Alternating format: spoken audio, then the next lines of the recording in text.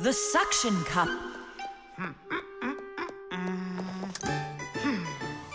Where's Professor Eugenius? Did you see him? Not yet.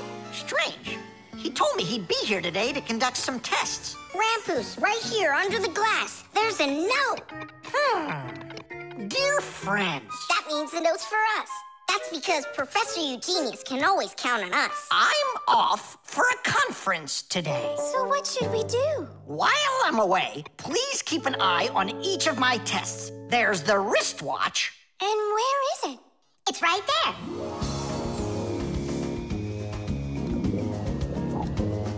Look! How come the watch is in the water? So the fish can know what time it is? No, like, don't be silly. This is the test he made for the watch. You see? It says water resistant right there on the back. That means that water shouldn't get inside of it. I see. So the professor needs to check if it will work underwater. Understand? Ah, yep, I got it. The watch is working. So now, the doorbell test. We'll go look. It's over there.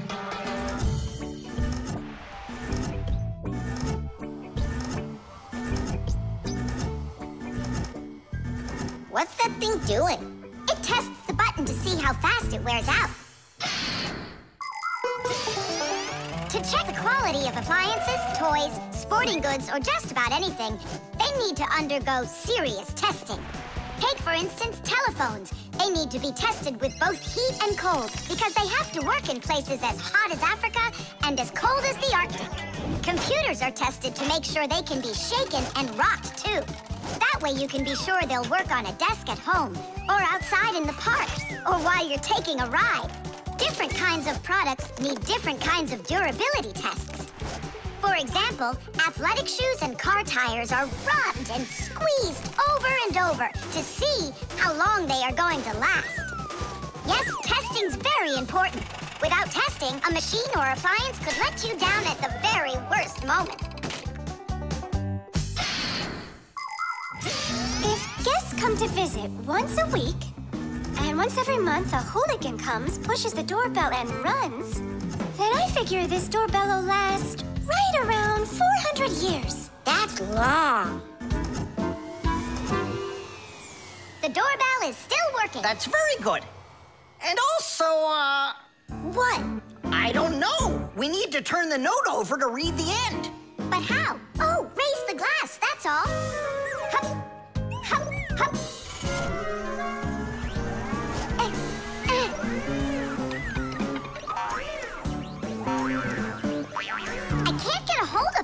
We should find a suction cup. A suction cup? Suction cups are made out of rubber or other elastic materials. When a suction cup is pressed against a smooth surface, the air inside is squeezed out. The air outside wants to get back in, and so it pushes down on the cup. The rubber edge of the cup won't let the air leak in, so the outside air keeps pressing down, and the cup keeps on sticking. And that's how a suction cup sticks to a surface by using the power of air. Wait a minute. I know where there's a really big suction cup that we could use.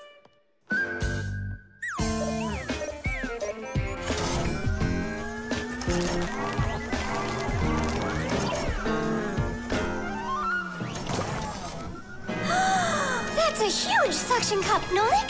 Stiddy, stiddy, stiddy. Well done, Nolik. Only we need to hurry before air gets under this suction cup and it unsticks. My suction cup will never unstick. Well, let's see what it says here. Simka, you'd better hurry. And make sure nothing gets broken here in the laboratory while I'm away. Huh, and what could get broken around here? Ah, the glass, look out!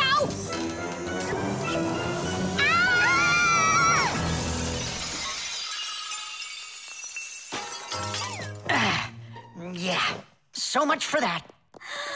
And who's going to clean up all this broken glass? you don't know? Nolik. He told us to use that suction cup. Simka, she was reading way too slow. Listen, there's no need to fight. I came up with the idea of the suction cup. I should clean this. Come on now, Grandpus. We'll clean up this mess. Professor, I still think the suction cup was a great idea. Dog. it's about me. Fixies? It's Chusaka. It sounds like she's angry with us. I wish I knew what that mad dog was thinking about. I'm thinking about you. You better hide or people will see you. I'm leaving. See you later. It's going to rain. Chusaka, I have no time to play right now. I'm not playing. His feet are gonna get soaked. Tom Thomas, I'm off. Don't be late. Chusaka, that's enough. No, I need to go to school. He's got his math class today and he's leaving his math book. I'm trying to serve like a good dog, but no one understands me. Dogs have been serving people since ancient times, along with cows, horses, chickens, and other domestic animals. But of all of these animals, the dog was the very first.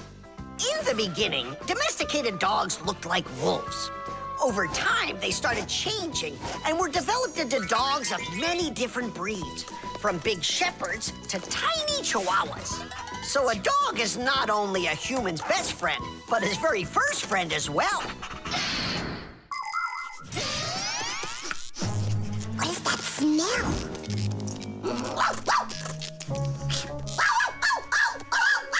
Simka, come on out. I see you. Nolik, jump down.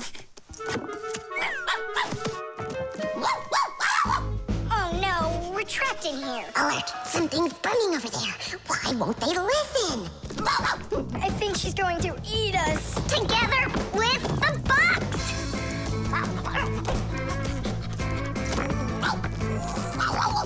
We're done for. Oh. Come on, look. The outlet is sparking. Oh no. Something must have broken in there. Are we going to fix it? Kids should never touch outlets, and you know it too. It's forbidden. Then how do we fix it? Go find Papus, and I'll stay here and wait for you. Uh, but where's Papus? I know where he is. I don't know what she's barking about, but I think Chusaka wants to help us. Then come on, Chusaka. Help us.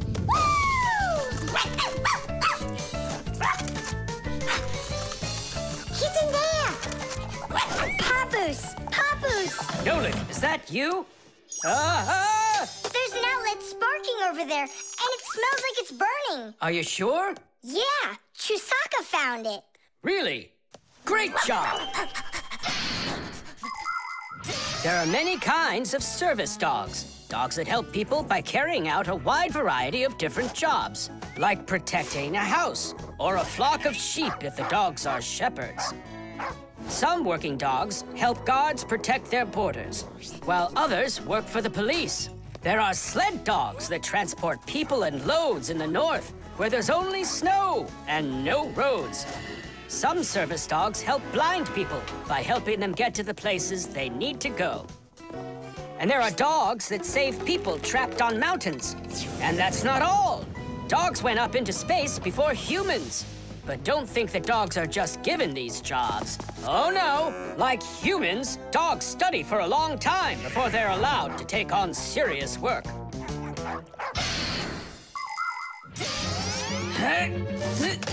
Ah, that's all. There won't be a fire. Not today. Hooray! Well done, Chusaka.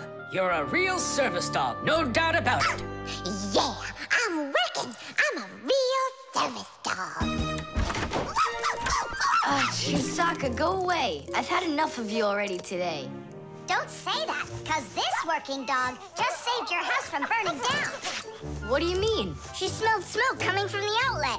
It could be that Chusaka means well and wants to do the right thing, but nobody understands her.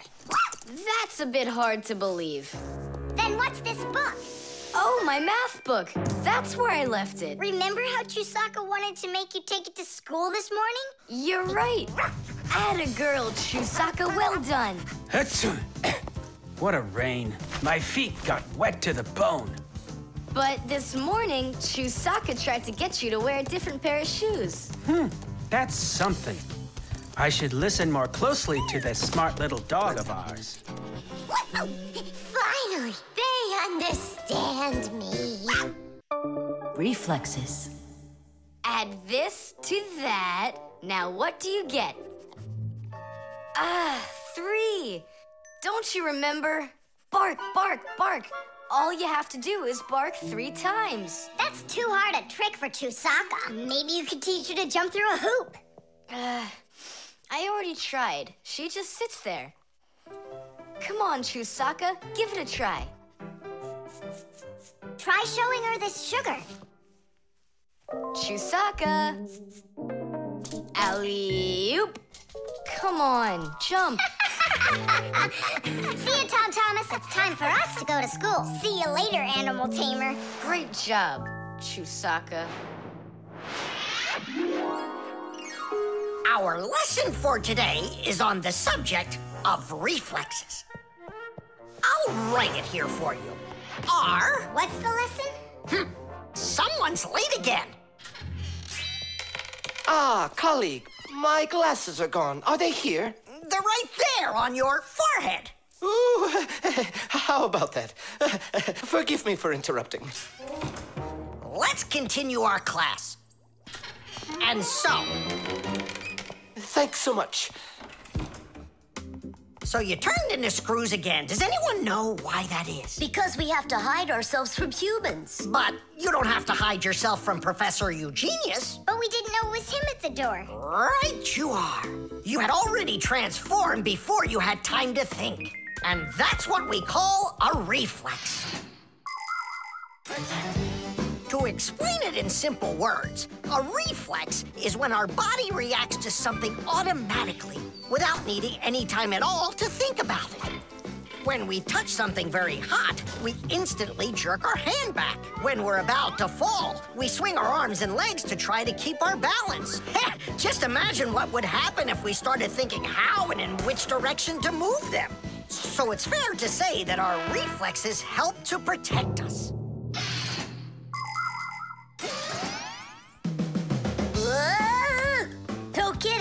They protect us. Ugh, my nose itches. Achoo! Excuse me, I didn't mean it. Professor, uh, sneeze. Is that also a reflex? It most certainly is one. Fire didn't want to, but then his nose tickled and achoo. Mm, bless you, too. Thank you. Uh, uh, and uh, do dogs also have uh, reflexes? Of course, dogs have reflexes. All animals do. Yeah. It's something all good animal trainers know. They use the animals' reflexes to teach them tricks.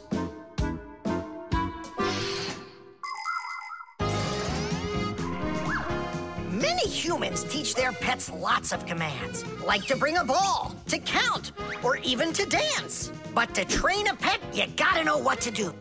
A good animal trainer always has plenty of treats handy. As soon as an animal follows a command correctly, like standing on its hind legs or jumping over a hurdle, the animal gets a treat. And then the trainer makes a unique signal right away, like clicking his fingers or blowing a whistle. After repeating this training over and over, the animal develops a reflex. Once it gets the signal, it carries out the command and then gets a treat. But the most important thing about animal training is to love your trainee and never hurt it. Otherwise, no treat will work.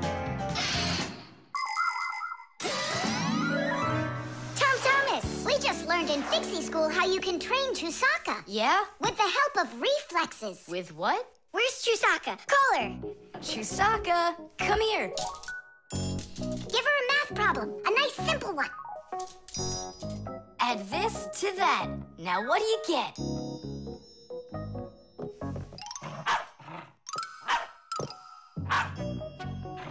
It's a miracle! Three! You got it! No, it's not a miracle. Science is what it is. You know how Chusaka barks whenever she sees a fixie around. That's what we call a reflex, you know. I understand. And do you know how I can teach her jumping? Well, we didn't figure that out yet. Wait a sec, I know how. Chasing fixies. Isn't that one of Chusaka's reflexes? Probably, That's although great, so let's go and train the dog. nothing's ever too much for a good friend. Chusaka.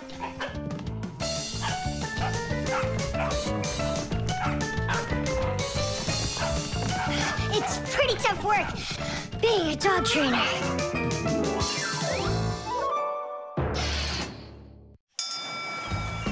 Knots.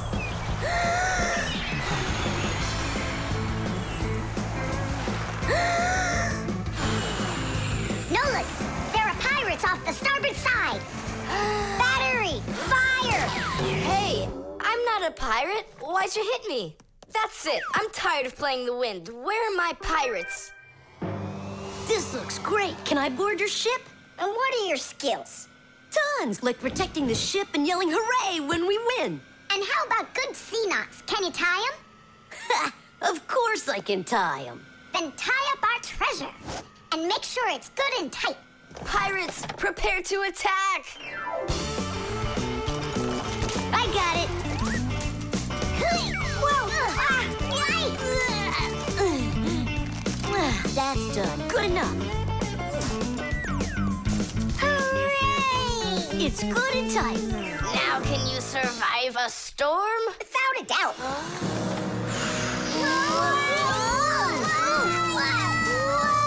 Our treasure! It's sunk into the sea. That was my that was my mom's necklace we sunk. I'll pick it all up, don't worry. No, thank you. We'll manage ourselves. He calls himself a sailor. Go and learn to tie some knots. Try tying two ropes into a knot. You think it's easy? A badly tied knot will untie itself before you know it. Here's one way to tie it right. First, cross over the two ends like this.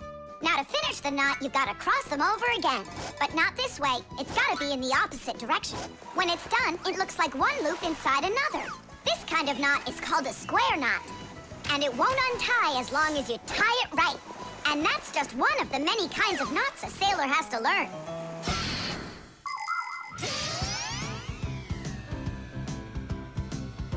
Oh! Okay. I knew I could tie it. Now, what else is there to practice on around here? I found some more of our treasure. Here's another one. That's 19, but we're supposed to have 20. I know it because I counted our treasure. So what happened to the last one? Well done there. So what else could I tie? Perfect. I even remember what it looks like. It's a different color. It's a bright red one. Oh, Mom's gonna notice right away that the red one's gone. I gotta go find it. Ah! Yeah, I think it's on the floor. Who tied my laces together? I was just practicing, sorry. And what else did you tie up to practice your knots? Um, not sure you want to know. You're funny. Let's go untie them.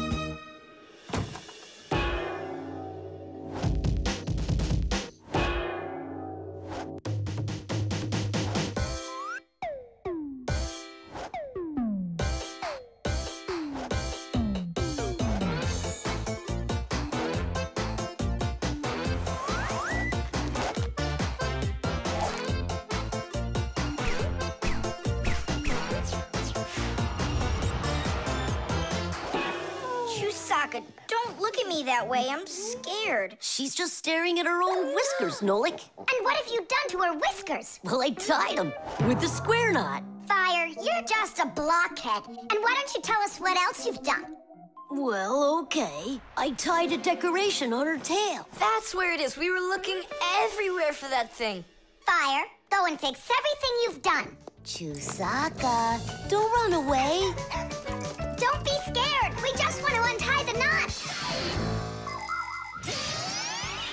Have developed all sorts of different knots. Without them, they couldn't control their sails. But we couldn't get by without knots on land either. Mountain climbers use tightly knotted ropes to help them climb and keep them safe. Fishermen tie hooks to their fishing line using special knots. You can't even pitch a camping tent properly without making a knot. When people sew, they tie knots in the thread to hold it in place. And doctors use knots when they stitch and bandage a wound. And a tie wouldn't be a tie if you didn't tie a knot in it. Sneakers won't fall off your feet. And the laces won't drag on the ground if they're tied with a proper knot. But sometimes things can get knotted up by accident. And that's one time when you don't need to know how to tie knots, but how to untie them. All aboard! Only thing left to do is tie a knot. Should I tie it? Are you sure it won't untie? You're joking. Why don't you go ask Chusaka? If I can tie a knot like a sailor. The manipulator.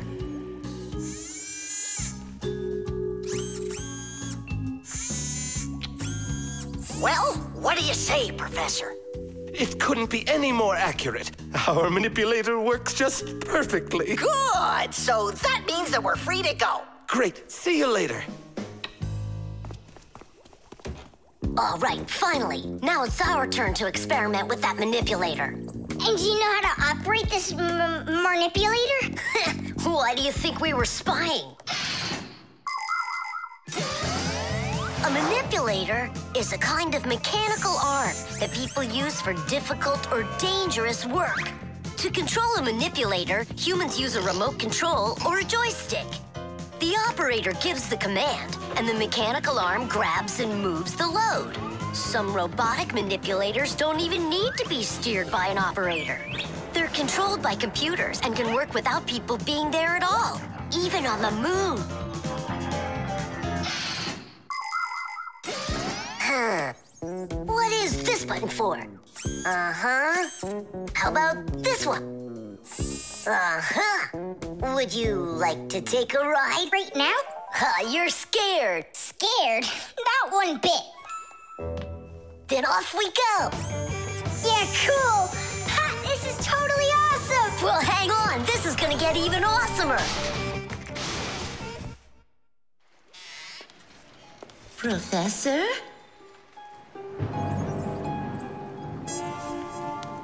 Hmm, strange. What made this ladder just fall over? Ah! Am I crazy? Or someone here? Oh, calm down. Calm down now. Poor Elisa. Yeah, you're completely overworked. Whoa! Here? Achoo! Hang in there, Nolik. I'll get you out of there.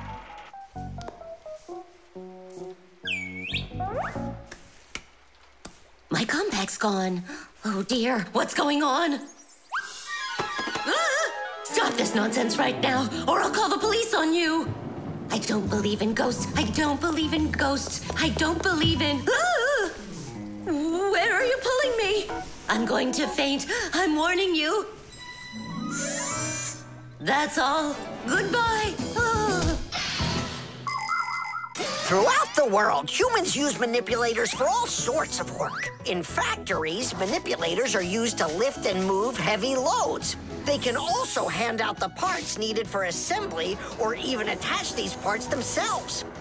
In hospitals, more precise manipulators are used by doctors to help perform operations. Manipulators are also used in places where the work is simply too dangerous for people. For instance, where there are deadly chemicals, or places where humans can't get to easily, like somewhere underground where there isn't enough space to move, or deep under the water or in outer space where there's absolutely no air to breathe.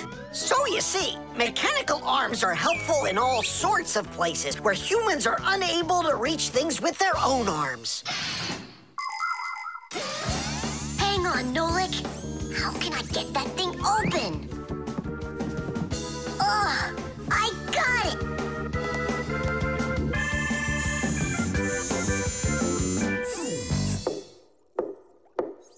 Yes? Who's there?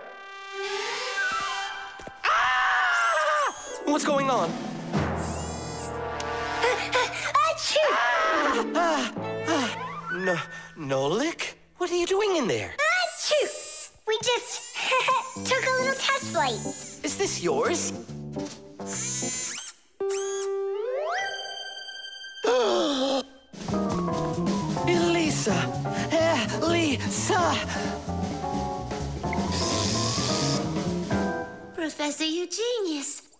I was attacked by a crazy arm. The manipulator. it's your imagination. Look, it's come back. Stop! Stop, I'm telling you. Professor Eugenius, it heard what you just said. Calm down, it's okay. It was a little malfunction, but I took care of it. You are just astounding. And don't think that I'm through with you. With me? With you? no, no, with the manipulator. Let's go, Elisa. Yeah, let's go, Professor. Great job, Fire. And why fire?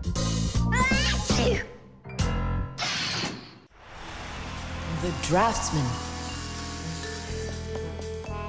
Pew! Huh? What? Hi there, Tom Thomas. What are you drawing? I'm not drawing. This is called drafting. What's the difference? Tell me, is that a circle? Sure is. And that? It's a circle, too. Only it's a rounder one. Of course. That's because I drafted it with a compass. And now I've got a real target. So now I'll load my dart gun. Whoa! Why'd you shoot that thing at me? It was the gun. I didn't even pull the trigger. What? Did it break? Hmm. Let's open it up and see. There. This little part broke. Let me go find Papus. He can help you. He can make another one. A brand new one. Wait, I can draft a technical drawing. Will Papus understand how to read one of those? Are you kidding? Papus is an expert at everything.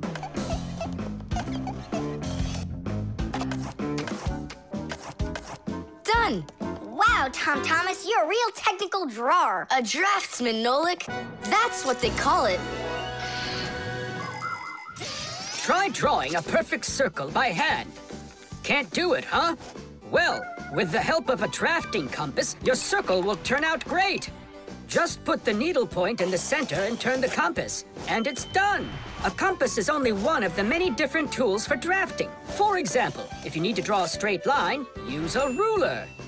And if you need to draft a frame for your picture, you can use a triangle. First draft one side and then the other.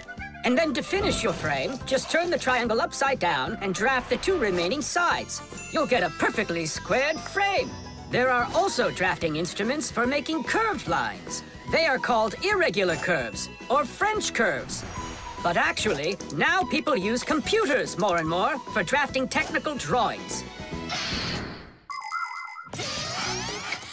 Papus! Huh? Oh, what? What happened?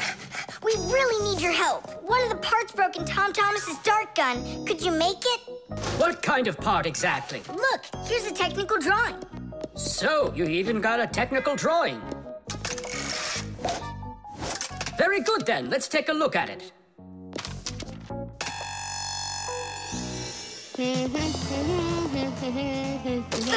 Here you go. Super. Let's see.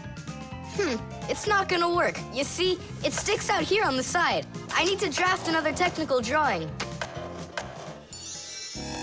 Papus! Huh? Ugh. Nolik, you scared me again. Forgive me, but the part has to stick out over on this side. Uh, uh, uh, and you're sure that's all? That's all, for real. Tom Thomas, it's done. Listen, while you were gone, I realized that the part needs to have a hole right here.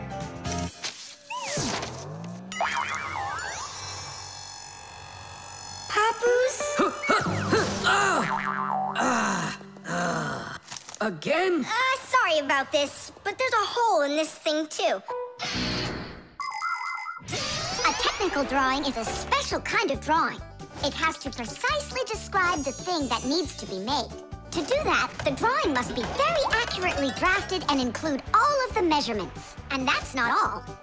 If the object is complex, it must be drafted from at least three sides, including the front, the side, and the top. You see? The object looks different from every side. So if you don't want to work over and over again, learn to draft correctly.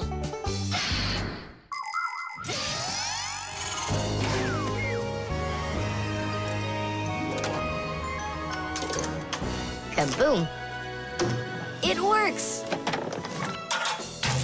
Bullseye! And all thanks to our technical drawings. yeah, after three tries, right? Some draftsman you are.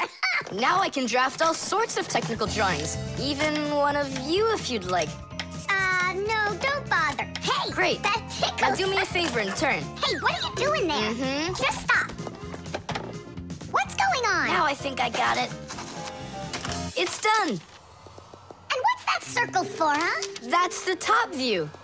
You know what, Simka? That's what you really look like from up here. Nolik, take this over to Papus. He can use it to make another Simka. No thanks, Tom Thomas. For me, one Simka's enough. The baby monitor.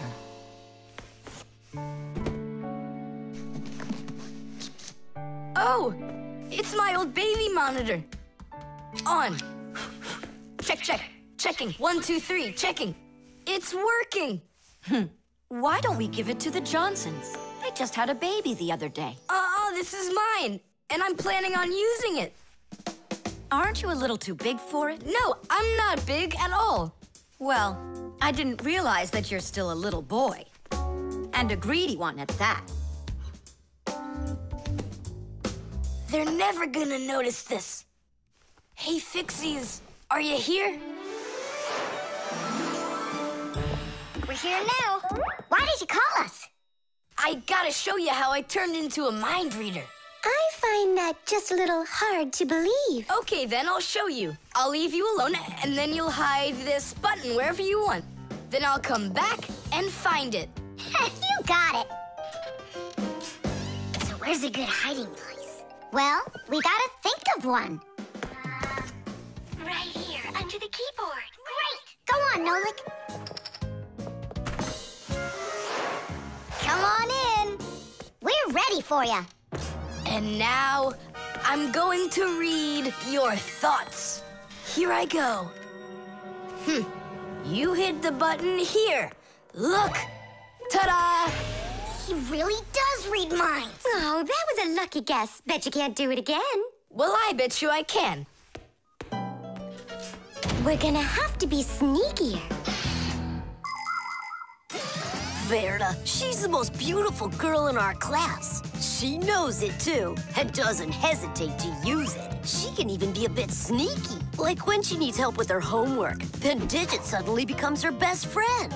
But if she doesn't want to carry her pack-a-mat, she'll say, Fire, please help me. You're just such a strong fixie. But all us boys like her just the same. Digit does, and Nolik does, and I guess I do too. Although, I really like Simka more. Or maybe Verda. Or both of them. I haven't decided yet. Verda can be difficult and even bossy sometimes. But one thing I know for sure, Verda's a good friend. A friend that'll always come help. Well, that is if she's able to pry herself away from the mirror. I think that we should throw it down into this pencil cup. But then we concentrate on another place. Hmm. That is good, but it won't work, Fixies. Come on in.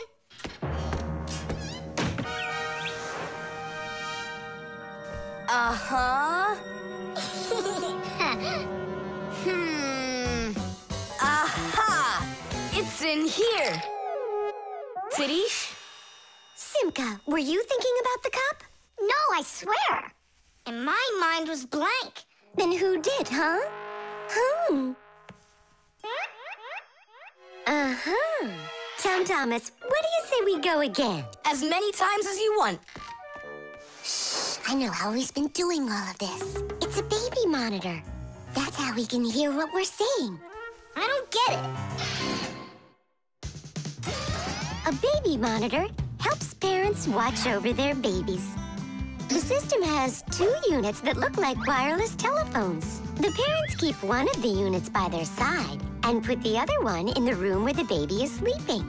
If the baby suddenly wakes up and starts crying, the unit in the baby's room will pick up the sound and send it by radio waves to the parents' unit. Mom or dad will hear the crying and go and comfort their child. And so he's listening to us now. This time I know what we should do. We'll hide it under the globe. Ooh. Go on. Hmm. Uh-huh. Aha! Huh? Where is it? If you read our minds, you'd find your button under the baby monitor. You tricked me. That's really not nice. And spying on us is nice, you think? I'm sorry, I just thought it'd be fun. Well, anyhow, Tom Thomas, you're too old for this thing. Unless, of course, you still need it. I'm not a baby. I was just, you know, checking it. I'll go and give it to Mom. Mom, I'm not greedy. About what? Let's give this monitor to the Johnsons, and this car is for their baby boy. Hmm, I don't think that baby's big enough yet for your car. So what? Soon he's gonna get bigger and become a big boy, right? Like me. Batteries. Oh, my little lemon, just you wait. One day you'll be a strong and splendid tree. She's talking with a flower pot. oh, you scared me. Do you like it? Like what? My seedling, don't you see? It will grow into a huge tree. And there, amongst the green leaves, will be beautiful yellow lemons. Class! From that thing? Lemons? oh, yeah. It'll grow into a tree. All it needs for that is to gather energy. Get energy from where? From our sun. the sun? It'll be so slow. Oh, batteries would be faster than the sun. Batteries? I really don't think so. Tula, do you know how much energy they have? Let's just bury a bunch of those batteries in here, and you'll be watching your lemon plant shoot up into a tree. Are you positive? Absolutely. And where can we get the batteries? Over there. Professor Eugenius has a whole box full of them.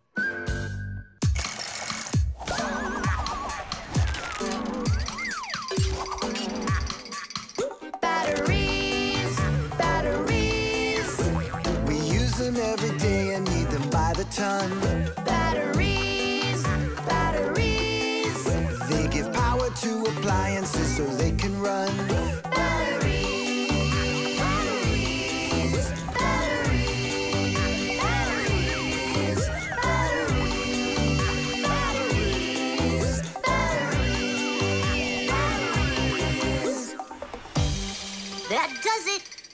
We'll be seeing the first lemons before the week's over. The first battery in the world was made in Italy more than 200 years ago. When two different kinds of metal were placed in salty water, electricity started flowing through a wire from one piece of metal to the other. Many years have passed since then, but batteries still work in pretty much the same way. Today, you can find batteries being used for electricity just about everywhere. Tiny batteries are used inside of wristwatches, while big batteries can power cars and even ships. With new batteries being produced by the millions, we have to think, how should we get rid of the old ones? You can't just throw away batteries because they'll poison our soil and water. The best way to dispose of batteries is to take them to a special collection station that sends them to factories for recycling. Yes, yes. It's a terrible idea to bury batteries. You can kill any plants that are growing there. And this is the very reason why Professor Eugenius puts all of his used batteries in that box over there, so he can dispose of them properly. Hey, where are they? Oh, my seedling! We harmed you! What? Where are the batteries? They're in the flower pot. How come? So the lemons would grow faster. From the batteries? batteries? Who came up with that idea? It will die! Hurry! We gotta go save it! The soil's contaminated. We've got to find a new home for this seedling. But where? Over there. There's a pot with healthy soil. Let's do it. Batteries, batteries.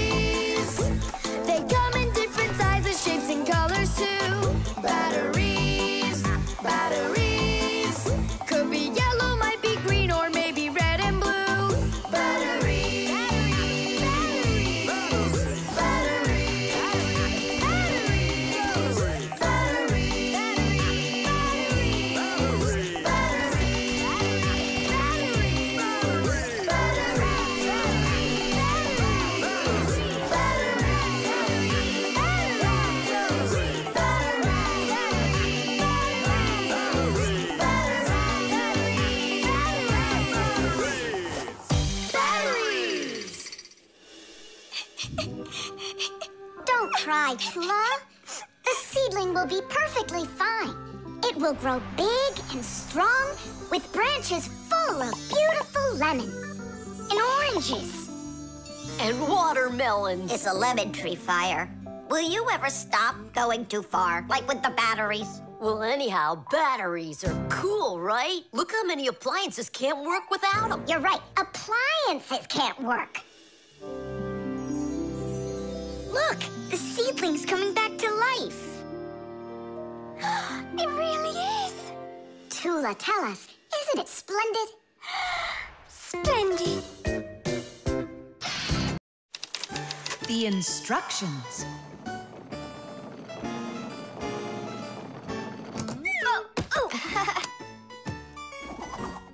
Hmm, it doesn't work. Try putting it in the other way. Did you read the instructions?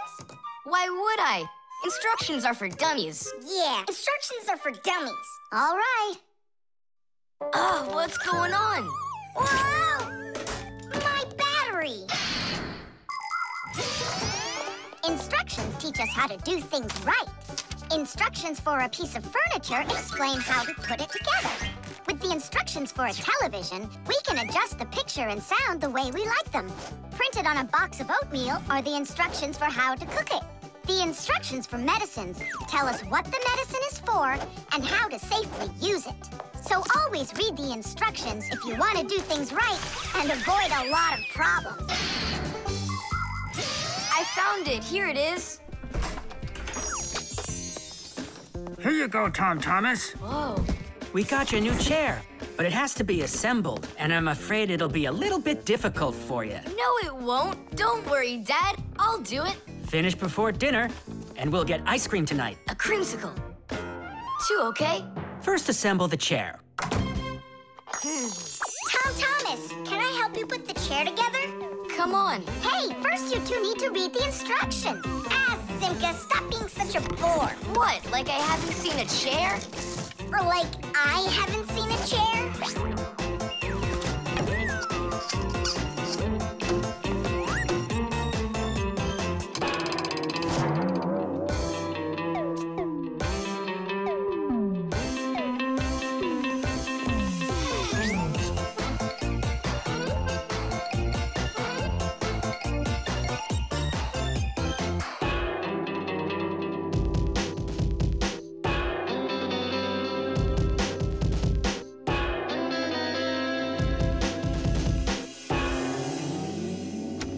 Tom Thomas, you done? Dinner's ready. Let's go. Oh, Dad, no. I need another two minutes. Hmm. Simka, help me.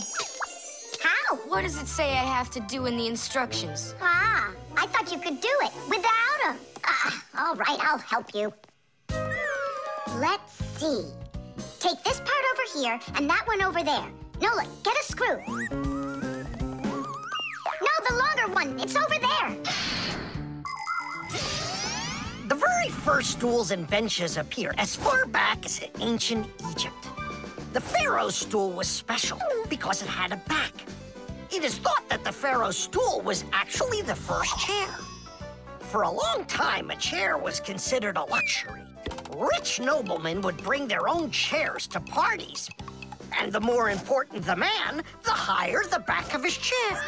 It wasn't until the 19th century that chairs became part of every house. Today, there are just so many different kinds of chairs. There are wooden chairs, plastic chairs, metal chairs, chairs with legs, chairs with wheels, folding chairs, baby chairs, just all sorts of chairs. Well, how could people sit down at the table with no chairs? Ooh, I think we'll make it. Screw it in, quickly.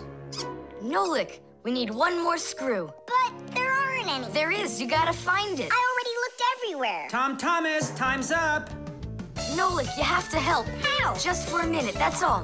Turn into a screw. If it's only a minute, I'll do it for you.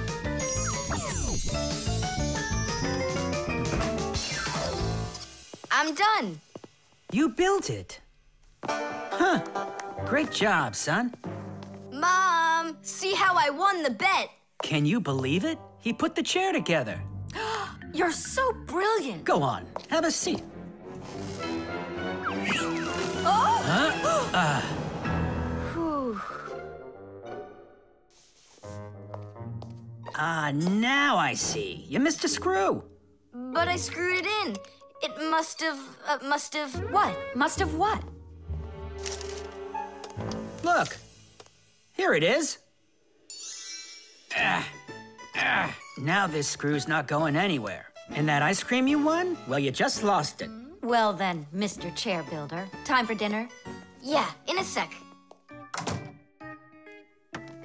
Where is that Nolik? He ran away. What a traitor. No, he's not. He promised you he'd become a screw for just a minute. And the minute was up. Well, where is he then? Over there. He's studying the instructions for the clock. Hey, Tom Thomas, it says that we put the wrong kind of battery into the clock. We should have used that kind. You see, Tom Thomas? If you don't want to be a dummy, instructions are for you. The fire extinguisher. So, who can tell me, in the home, what is the greatest danger of them all? Chuzaka. Well, dogs are dangerous for us, but what is very scary for us and for humans? Fire! Huh? Where? I was just answering what you asked us. Although your joke was awful, Fire, your answer was actually correct. Nothing can be worse than getting caught inside a house on fire. Don't know much about chemistry, but I can handle circuitry. That's an interesting idea. I have to try it out. And that's why every Pack-A-Mat has a fire extinguisher inside of it. And how do you turn them on? Well, I'll show you at the end of the lesson. Nolik, listen, yell fire. How come? I just want to find out how the professor turns on a fire extinguisher. Forget it, Fire. I won't do it for you. Ugh. Fire! Huh? Huh? You again! I was joking. It's a stupid kind of joke, and I want you to leave right now. Actually, I should call your parents to discuss this terrible behavior. Fire is no joke at all. Remember, never fool with fire. Of course, you should never play with matches or with lighters. Everybody knows that. But those aren't the only things that can cause a fire inside of a house. So can a stove or a fireplace. And don't forget electrical appliances like electric burners, space heaters, and irons. If you act carelessly around any of these appliances, they can cause a fire. And we should never forget to take extra special care with sparklers, candles, and fireworks. Sparks can jump off of them and set fire to highly flammable things like paper, wood, or cloth. So, what do you do if a fire suddenly breaks out? That's right. You call the fire department by dialing the number for all emergencies 911.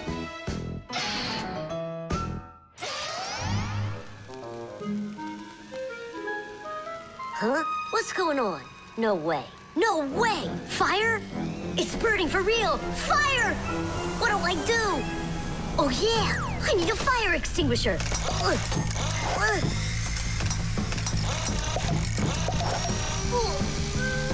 Where are you?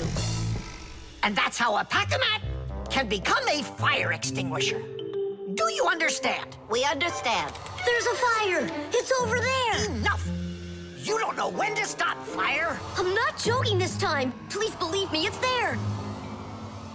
Hmm. Nice try, Fire. Oh, look! He even used smoke this time. No, Simka. That smoke's from a fire. Uh-huh. I'm sure that this time it's for real. It's the truth. I swear I'm not lying. This time I think it's true. He's not joking. We've got ourselves a real fire here. Tula, Simka, turn off the soldering iron. Uh-huh. Got it. Be careful, kids. You have to stay back here away from the fire. And what can I do to help? Take out your fire extinguisher.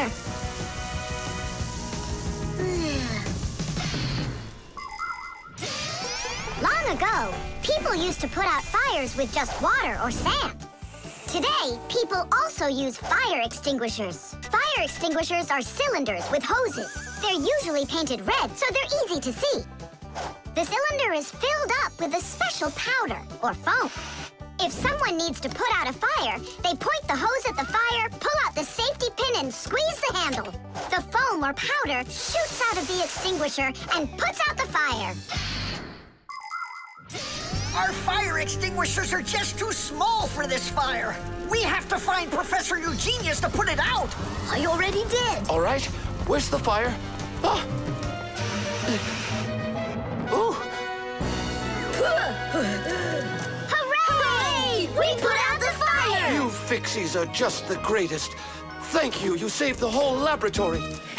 Not at all, colleague. If not for you fixies, I can't even fathom how this could have ended. And what I'm wondering is how the fire got started at all. Fire? I had nothing to do with that. Yeah, sure. Then who was yelling fire, fire? You know what? Maybe it was you that set the fire. Well, if that's what happened, don't even think about coming back to school without your parents. Colleague, colleague, wait. It's all my fault. I didn't turn off the soldering iron. Forgive me. Now we know whose parents the school should be calling. The laboratory.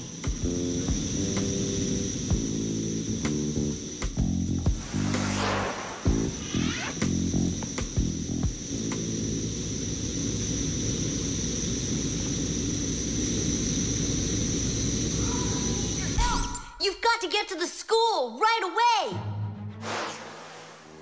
What did he say? That we've got to get to the school. How come? Did you hear why? I didn't, did you? I wonder if Simka didn't go to school today. Or if Nolik got into some kind of mischief? Oh, I'm worried this is something serious.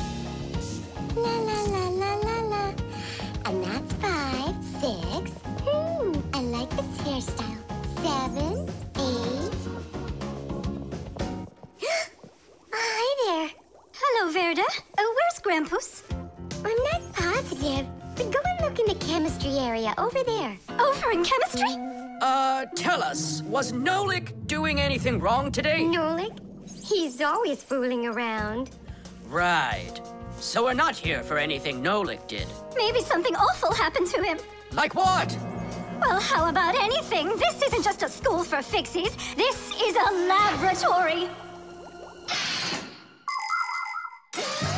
The laboratory where Professor Eugenius works is always humming. In the mechanical zone, Professor Eugenius tests all sorts of different devices to see how well they are made. In the chemistry zone, he conducts experiments on the quality and safety of food. In the electrical zone, he repairs electrical devices and checks their safety. Unfortunately, the professor can be absent-minded, and that can cause things in his laboratory to bubble, spark, or even explode.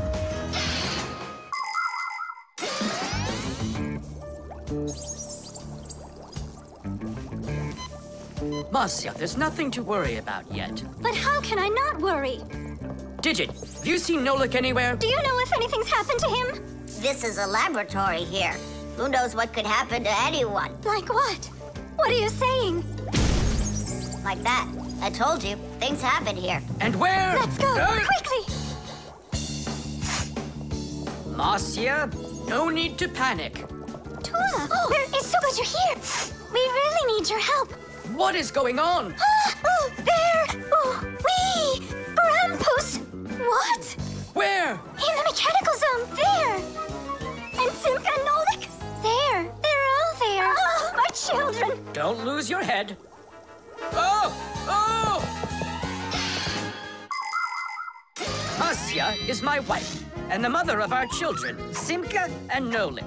Masya is a real beauty, a kind and gentle soul, and a wonderful homemaker. She is also a very responsible and extremely skilled fixie. She is our family's expert in kitchen appliances and gadgets. Masya works from morning till night, fixing and cleaning anything that is in need of her expert care. Because she just loves when everything is clean and tidy. But most important for Masya are her children. She takes loving care of Simka and Nolik and tries to protect them from harm. Masya worries about them so much that sometimes her imagination gets carried away with what might have happened to them. Although our little Nolik can get himself into situations that even Masya could never have dreamed of.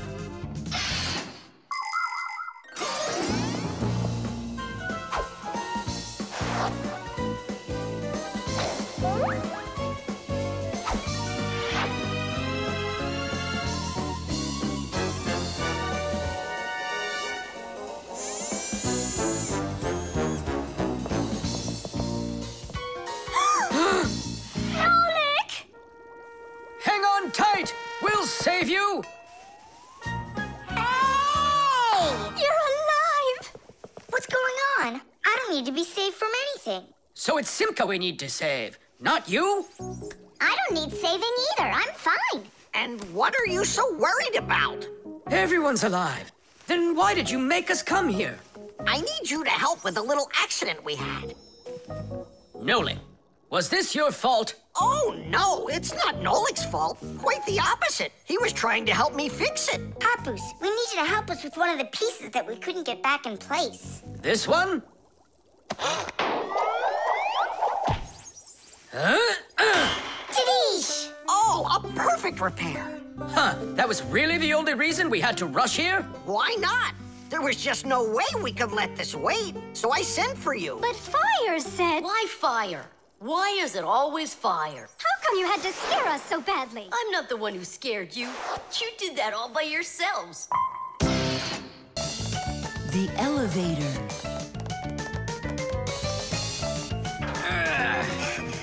Papus, Masya, we gotta hurry. How come? Tom Thomas is going to see the circus. Uh, and what? we want to go with him, can we? The answer's no. Just you kids without supervision. Who said no supervision? His parents are taking him there. We'll be careful, don't worry. They won't even notice us. Hmm. Well, if Tom Thomas's parents will be there. Hooray! We can go! Wait a second. I didn't even say yes yet. Yeah. Simka Nolik, where are you? We gotta hurry up. Tom Thomas, it's time to go. I'll be right there. We're ready. Climb into my hood. Ha! I know who's going to the circus today. Whoa! Huh? What just happened? I think that the elevator broke down. Don't you worry. Mm-hmm. Emergency operator. um, uh, we got stuck in the elevator. Understood. Please wait. We'll have the elevator fixed within the hour. That long? That means we won't get to the circus on time. Tom Thomas, we'll go get Papus and Masya. I'm sure they can fix it. People need elevators to help them get to the upper floors of tall buildings. When someone steps into an elevator and presses a button, the elevator's electrical engine starts up. It pulls the cable that is attached to the elevator cabin, and the elevator goes to the desired floor. The cable hangs over a wheel, and it usually has a heavy counterbalancing weight attached to the other end of it. This counterweight balances the elevator and helps the electric motor do its job.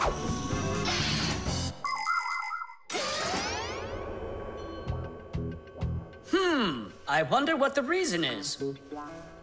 I think I see something over there that got stuck.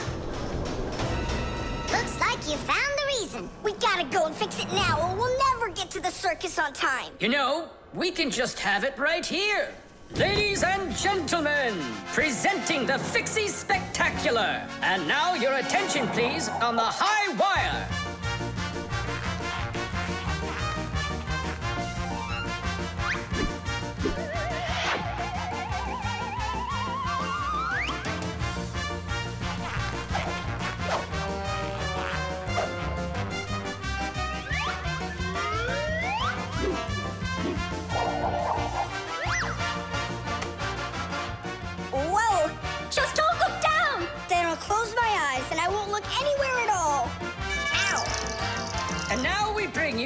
Our very own aerial gymnasts.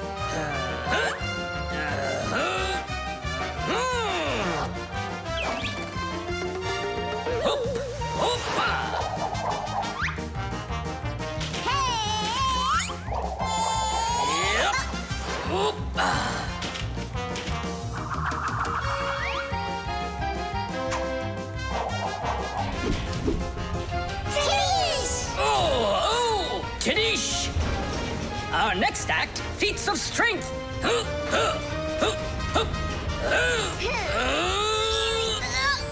Won't come out! I know how to fix it! With a death-defying circus act! Point your eyes up! Masya! Where are you going? Up to the electric motor! Do you know the right way to behave yourself inside of an elevator? First of all, small children should never get into an elevator by themselves. They should only go in with their parents or other adults they know well. When getting onto an elevator, the adult should always enter first and then the child. When it's time to get out, it's the other way around. First the child leaves and then the adult. If you are taking a dog onto an elevator, make sure its tail and leash are completely inside so they don't get stuck in the door. And there's one more thing. If the elevator suddenly stops for some unknown reason, don't try to break out of it yourself. Press the button that calls the emergency operator and wait for help from the elevator repairmen. Or the fixies. I reached the motor! Turn it on! Oh, they fixed it. That was quick. Now we'll make it on time. There was no need to worry. Stop! Ugh, it's way too high. Tom Thomas went to the circus without us. There's no need to get that upset, Nolik. Our circus is as good as theirs. Right, Papus? Of course it is. Thank you. Thank you, uh, to who? What do you mean, who? The elevator repairman. The Eco Tester. Are you ready to see my new invention? I just can't wait to show you what it does. Whoa, what is it? An eco tester. And what is it for? This device lets you check vegetables or fruit, so you'll know if they're safe to eat. To grow apples, tomatoes, or melons faster and bigger, people add chemical fertilizers to the soil. But there's a problem if too much of these chemical fertilizers is used. When there's too much of them, the harmful chemicals get inside the fruits and vegetables, and that makes them very dangerous to eat. An eco-tester is a special device that quickly shows how much of these harmful chemicals have gotten inside of the food. And if the reading is too high, that means you shouldn't eat it.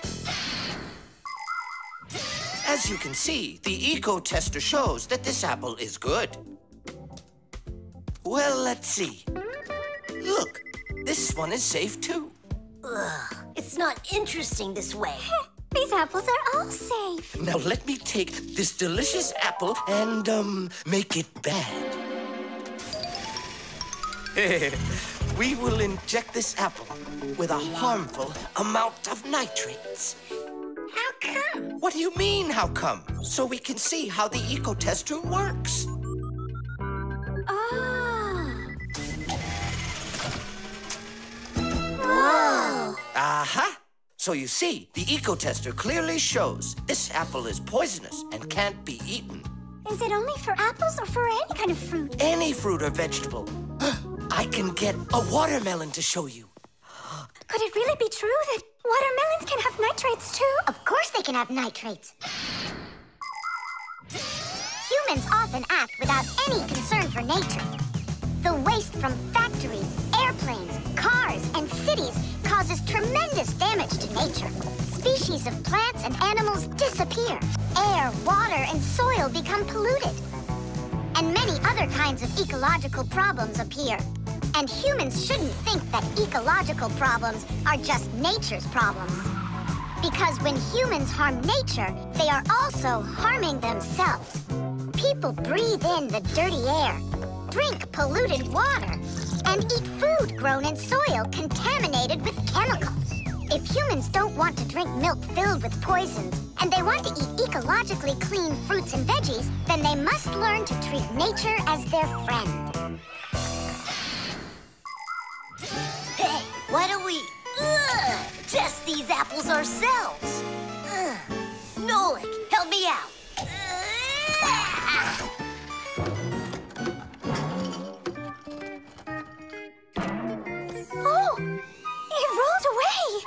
I don't care. That apple's poisoned with nitrates. Oh, apples. Mmm. Elisa, don't eat that! Uh, oh, Lisa, Lisa, Lisa, stop! Uh, please sit down. What? You bit into it? Yes, and what? Oh no, it's poisoned! What? Do you have trouble talking. Oh, yeah. You feel faint. Oh, I'm fainting. Elisa, hang in there. What? There's no poison in that apple she ate. Oh, my assistant. Oh no, I've poisoned her. Oh, oh, Lisa, please. There was no poison in that apple. Oh, oh no, he didn't hear us. What should I do? I know how to make him hear. Hello? It's an emergency. It's a case of, of poisoning. Not me. I poisoned someone. Yes, with an apple. Fire. I mean, poison. Oh. Professor, this apple has no poison in it. The bad one rolled away onto the floor. Did it really? This is just fantastic news. Can you see me, Elisa? I can't see anything. How's that? I see you.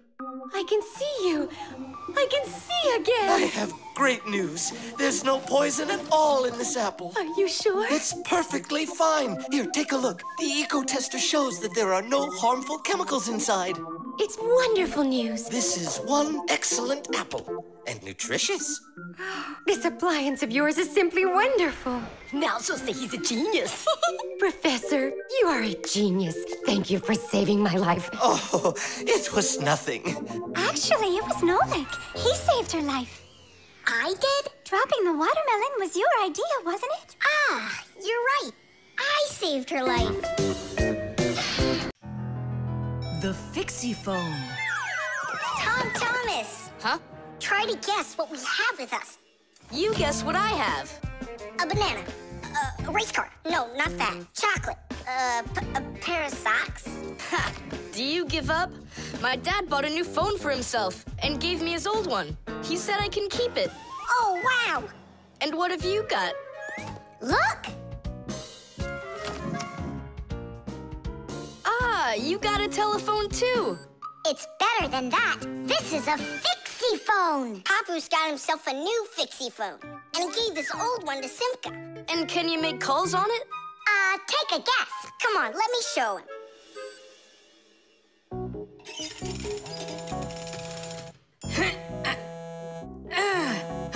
Hi there, Papus. Hi, Nolik. Why are you calling?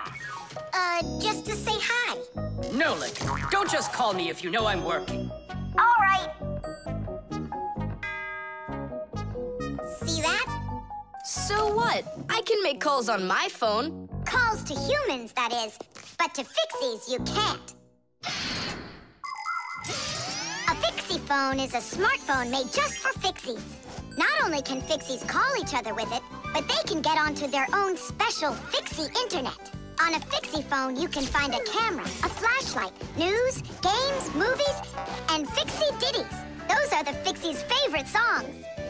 Fixie kids love them, and so do their parents, because Fixie phones can easily let parents know where their kids are and whether or not they're in trouble.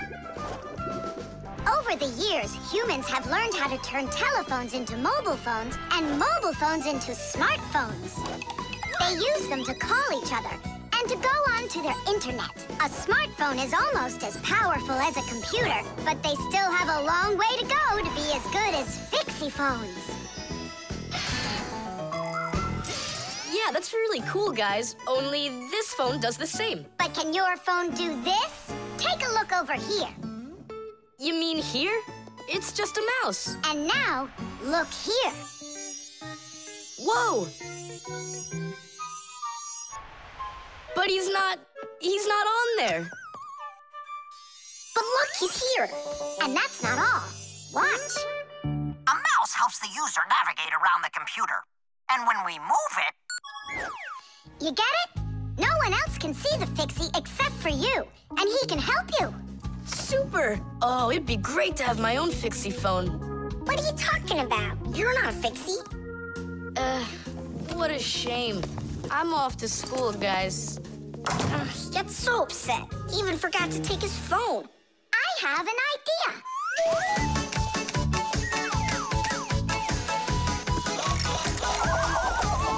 My smartphone's my best friend. I love to hear it beeping. So I keep it by my side even when I'm sleeping. Bing bong all day long. Bing bong all day long. Bing bong all day long. Even when I'm sleeping. With my phone I play alone. I don't need my brother. Soon they'll make a brand new app to replace my mother. Bing bong all day long. Bing bong all day long. Bing bong all day long. To replace my mother. Check my mail, send it text a million times an hour. I forgot to plug it in. Now bong all day long. Bing bong all day long. Bing bong all day long. Now I'm out of power. Bing bong all day long. Bing bong all day long. Bing bong all day long. Now I'm out of power. We finished. Titties! Look, it's a... Surprise! Wow, this is great! Now I've got my own fixie phone. It's just like you've got. Well, pretty close. Tom Thomas. Tom Thomas, let me use your phone to call myself. I need to find my phone. Oh, wow. You've changed everything in here. Where am I? I guess I'm Papus. Huh, what a funny name you came up with for me.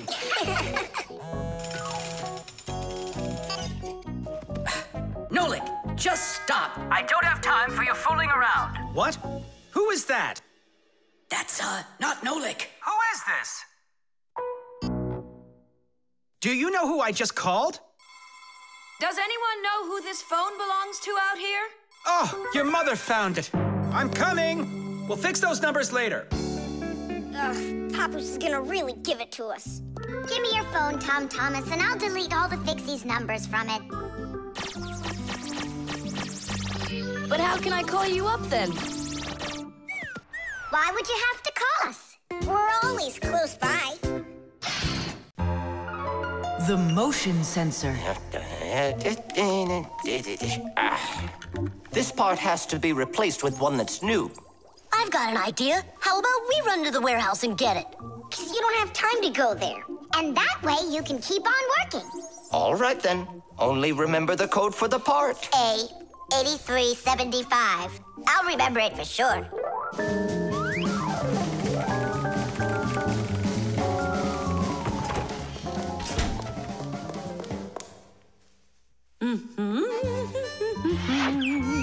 Why is Elisa always there at the wrong time? Do we have to wait till she goes away? what for? We'll sneak out behind her. Digit, did you find the part? It's here. Are we ready? Yeah, we're ready. Let's do it.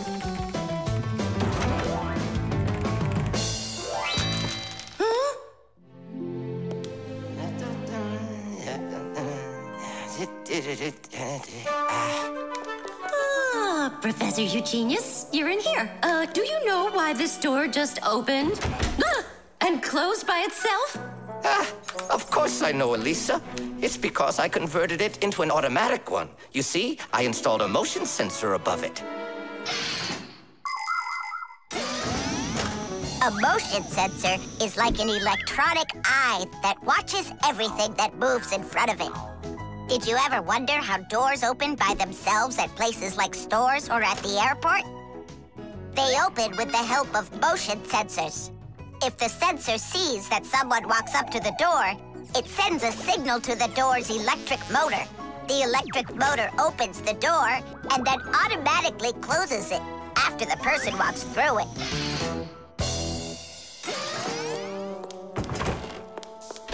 That man is just astounding. Only a bit untidy.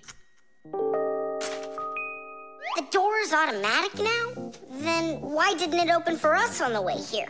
Because we're too little for that motion sensor. But the part's bigger than we are. Big enough for the sensor to see it. Then how do we get in there? We can fool that thing if we stay close by the wall. Now let's keep this as close to the wall as we can.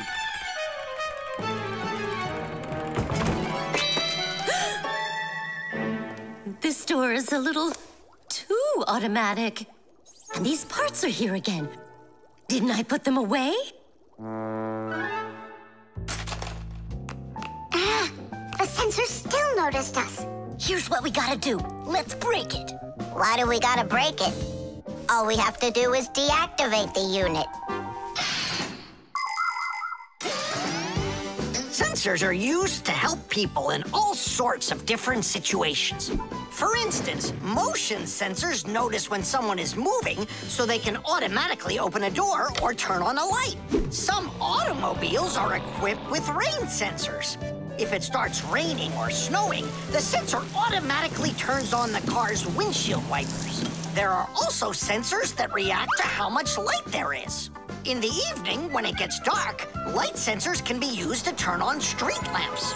And in the morning, when it gets light again, the sensor switches them off. A smoke detector can sense when there's smoke inside.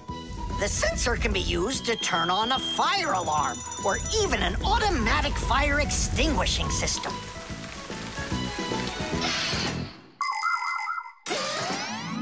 I turned it off. That should do the trick. Great job. Let's go.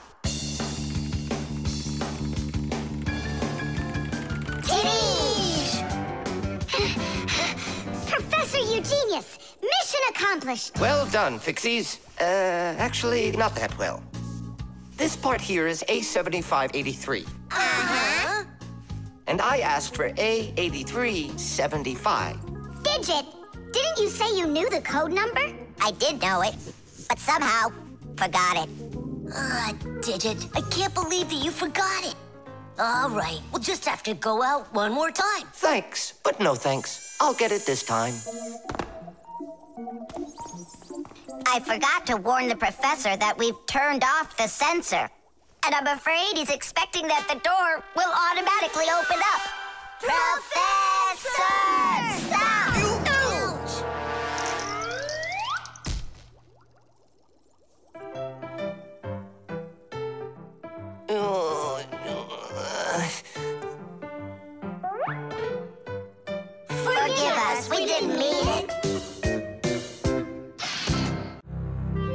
Shadow play. Oh, hi there, Tom Thomas. What are you doing here? Ah, I dropped a paperclip. Give me some light. huh. What's so funny, huh? We're trying to help you out. You've got funny shadows, that's what. Hey, check this out. It's an eagle. and Simka is a goose. she looks more like a moose. I do, huh?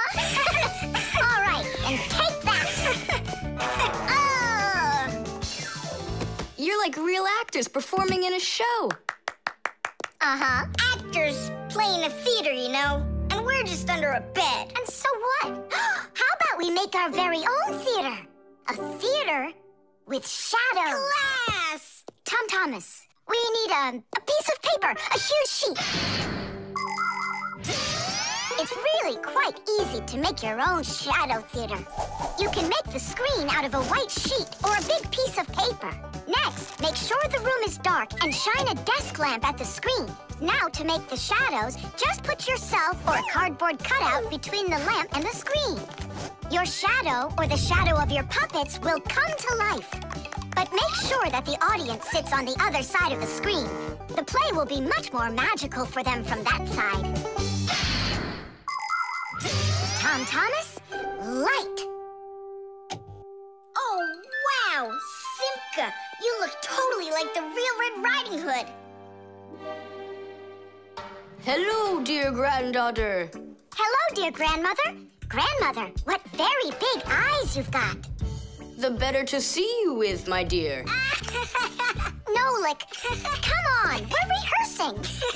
the wolf's voice is funny. Grandmother, I never noticed what very big teeth you've got. They're so much better to eat you with, my dear. Yum, yum, yum, yum. Let them out, Wolf. Or I'll, or I'll get them out uh, myself. Ha ha! You'll stop me with that little stick? Hey, that's not in the fairy tale. But in the fairy tale, it's a normal hunter. And what do you think I am? Look for yourself. You're way too small to be the hunter. Fine, then go to your play without me. Well, I guess I'll have to make the hunter out of paper then. That's all. Take a break. I'm really thirsty. She was so salty, that grandma. Nolik. Don't be upset. The wolf is huge, and I'm so little. Then let's make you bigger. You see? Now you're bigger. Yeah, you're right. And if we go back here, then I'm even bigger. Now you know. If you go back here near the lamp, your shadow will get bigger on the screen. Class! There are just so many different kinds of theaters in the world. In the dramatic theater, the actors speak the lines of the playwright. At the opera, the actors don't speak their lines. They sing them, accompanied by an orchestra. And here at the ballet, the performers don't speak or sing their parts. Here, the story is told with dance. There are also theaters where the performers are animals. In an animal theater, you can watch performances by cats and dogs, or goats and pigeons, or even bears and seals. There are also theaters where the stories are told by puppets. To tell the truth, the puppets are brought to life with the help of people. Yes, there are so many different kinds of theater. My favorite is the Shadow Theater. I think it's the most beautiful and mysterious theater of them all. Hello, dear grandmother. Grandmother, what very big eyes you've got. The better to see you with, my dear. And grandmother, what great big sharp teeth you've got. Oh, the better to eat you up with, my dear. Um. Ooh, just wait. Aha, Wolf! I've got you. The hunter looks so strong. You're a hunter? Then where's your gun? Why do I need a gun? You're so tiny I could use a fly swatter. But I'd rather do it like this. Like what? With my bare hands. Way to go!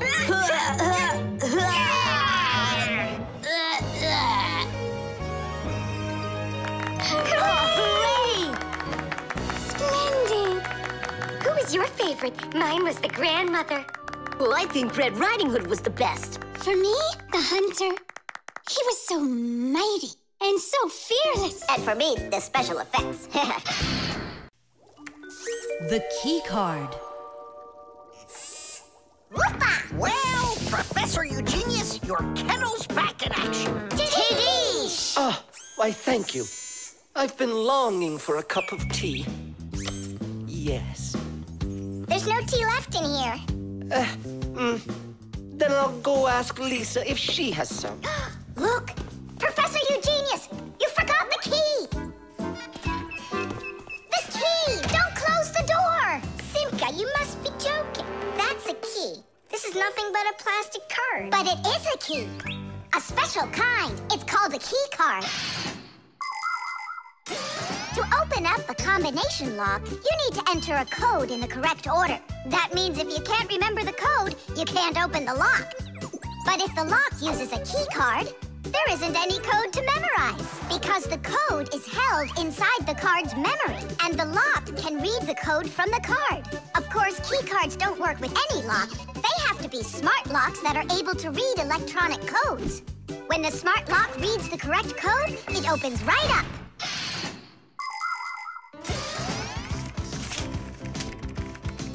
Elisa, do we have any tea here? Of course, Professor Eugenius. Wonderful. I'll take one bag then. Oh, I left my key inside the lab. Can I borrow yours? Just don't forget to give it back. Of course I'll give it back. Come on, Elisa. I got myself a tea bag. Professor Eugenius, the water's boiling. Fantastic. Ta-ra-ta-ta-ta-ta-ta. Ch-ch-chai. Wait a second. Ah, oh no. I was supposed to give something back to Elisa. Why don't you go and ask her? Right. I'll be right back. Professor Eugenius! That's card number two now. Elisa, I promised you something, didn't I? Yes, the key. You said you'd return it. Oh, yeah, sure. Let me get it. Just a sec. Oh, oh, oh, I locked it in the lab. It's terrible. How will you ever get back into the laboratory now? You see, there is one way, but it's a secret. Would you mind leaving for a couple of minutes? Colleague, Professor, can you do me a little favor? The key. I think I left it on the table. Yeah, right. It's true. So how do we solve this? I need to think about it. What's there to think about? We just have to go and push it under the door. You think you can do it? Yeah! It's time to get to work. Hey, what's going on? Oh, were you just calling for me? Yeah, uh, no, Lisa, not for you. It's so heavy. Do you know where Digit ran off to? Uh, ow! Ugh. Digit's off somewhere thinking. He's always doing that when it's time to work. Ugh. Hard to port. Hard to starboard. Way to go, Nolik. Uh, then who were you talking to? Actually. Oh, what's that? Where? What? Uh-uh. What was that? Come on, let's try again. Look, do you see that? Ah, that, it's, uh, telekinesis. It's the power to transport things with your mind. You are just astounding. Was that done with your mind, too? The door? Yeah, sure. You are a genius. Professor Eugenius is a very talented scientist and a dear old friend of the Fixies. He always helps the Fixies, and the Fixies are happy to help him too. Professor Eugenius let the Fixies set up their school right here at his laboratory. It's hard to imagine a better place for a Fixie school. People from all over the city bring all sorts of things to the laboratory to be tested, from computers, phones, and furniture to food and toys. Professor Eugenius uses his expertise to check the quality of all these different things. To help him carry out his experiment, his laboratory is filled with a variety of tools and machines. Yes, Professor Eugenius is a very smart man, but he can be absent-minded. Lucky for him, he's got us Fixies around.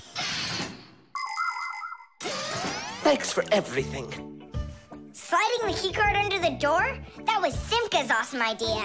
But the door opened wide while the card was still on the floor. That's strange. There's nothing strange about it. I'm the one who opened it. How? I climbed in the lock, that's all. Figured out how it worked, and Tadish. Very clever. That's a real Tadish. I guess that thinking before you go and fix something ought to be what we all study next. The antenna. Wow, is this cool or what? Ah, hello there, little fixies. Did you come to see what I'm working on? Professor Eugenius, tell us what you're planning on doing with this huge thing. well, I hope to use this fantastic device to make contact with aliens. Since ancient times, people have wondered, is there life on other planets?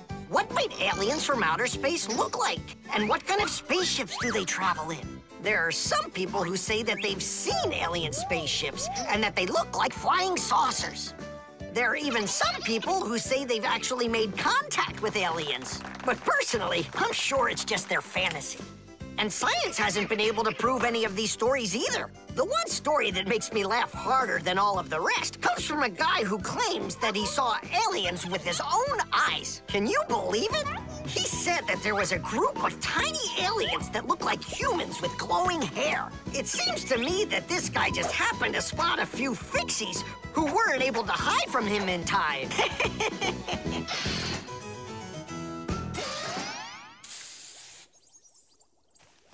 ready. If I could talk. And now what? If the aliens are out there flying by the Earth, they'll see this plate, get hungry, and come for food? Aliens don't need a plate like this, silly. When they've got plates that fly, flying saucers. You're both silly. This thing isn't a plate at all. It's an antenna. Antenna? Antennas help people receive radio signals. They come in all sorts of shapes and sizes, like this, this, or this. To pick up a signal that's very weak, powerful antennas that are shaped like large dishes work the best of all. When radio waves hit the dish, the waves all bounce off of it and gather together into one point. This makes the signal stronger and clearer. The most powerful dish antennas can even pick up signals from outer space.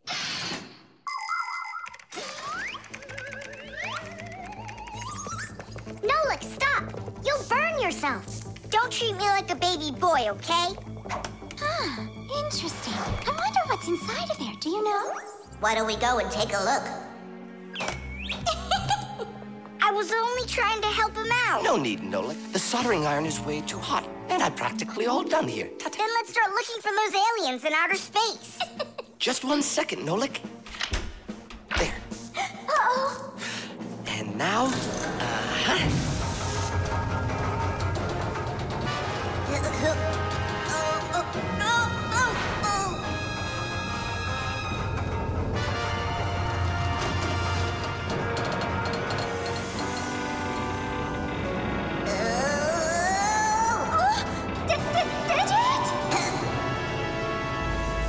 Here we go. Nolik, Simka, let's see if we can pick up signals from outer space. What do you think?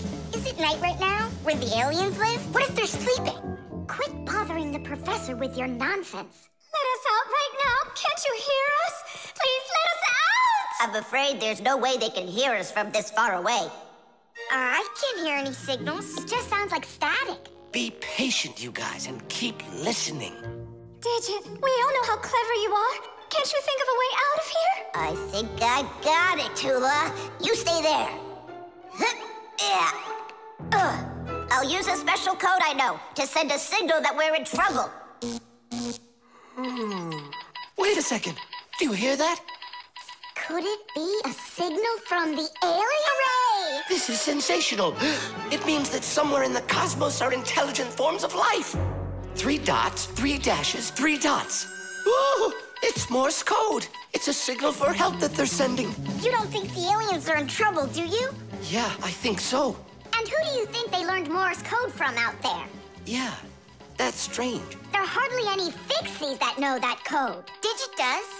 Ah, and where is he, you know? And where's Tula? Well, well, I think I know exactly with which aliens we made contact. I think I know it too, Professor. Lower the antenna.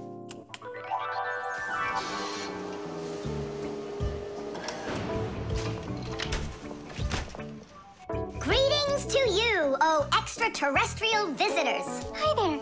it's good to be back. oh. Ah, what a shame.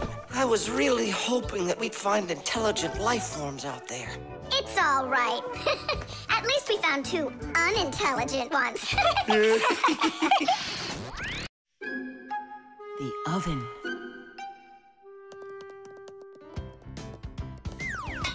Now here he is, our death-defying acrobat. Nolik, don't! I'm not Nolik, I'm an acrobat. You're going to fall. I'm not going to. Mm-hmm, I see. Every single time with him, it's the same old story. He gets himself into trouble, and I've got to get him out of it. No, no, no! I'm falling! Whoa! Hold on! I'm just joking. Nolik, you're a knucklehead.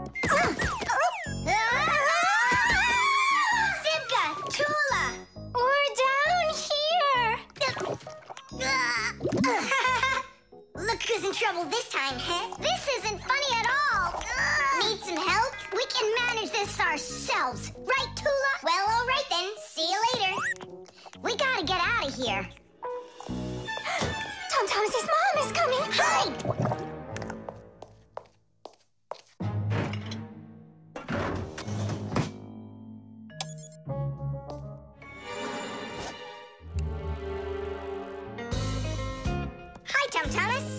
Nolik. Are you up for a ride? Because this train's leaving the station.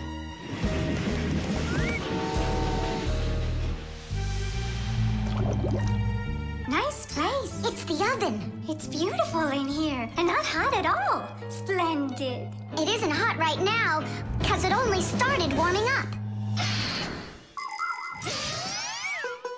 An oven is a cabinet with a heater. It can get so hot inside that it'll roast whatever's in there. As a matter of fact, that's what ovens are for. People roast meat inside of them and bake things too. Some ovens burn gas for heat and others use electricity. They have special electric coils that get red hot and heat everything that's inside the oven.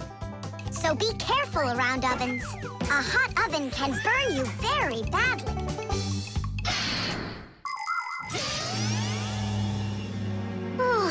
It really is getting so hot. We gotta get out of this oven right away! Simka, we're about to get roasted in here.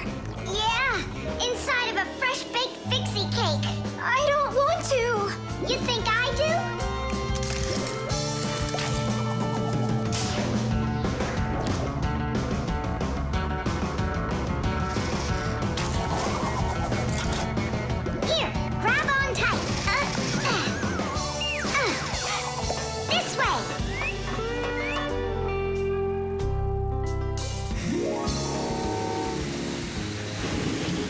Careful, you'll fall off.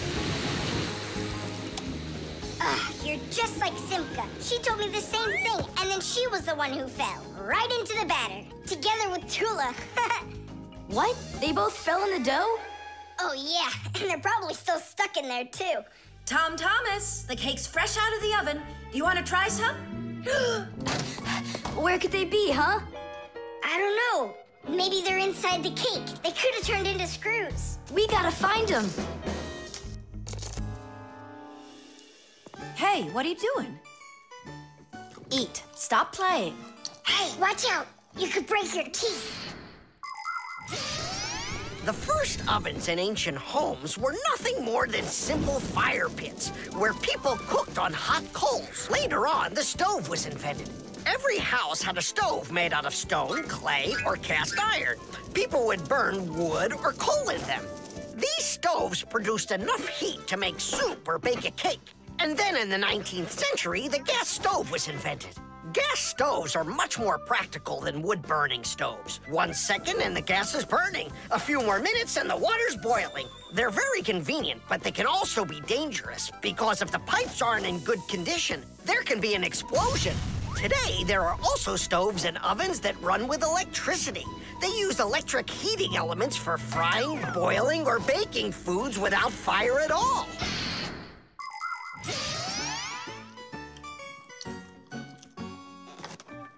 Thomas, I think you'll explode. But it's so incredibly good. I just can't stop eating it. Hmm. Keep chewing, Tom Thomas. Ah, that's as much as I can chew. Hey, what are you guys up to? Uh, up to? We're trying to save you. You're not in the cake? Then how come I was eating all of this? I hate cake. Hmm. Uh, maybe it's because that's what good friends do. Yeah, he's a good friend who's got a really good appetite.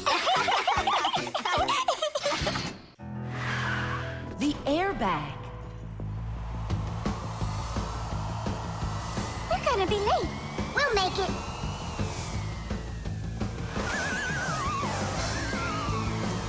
Whoa! Oh, wow. Hey, slow down there. I'm a super duper racer.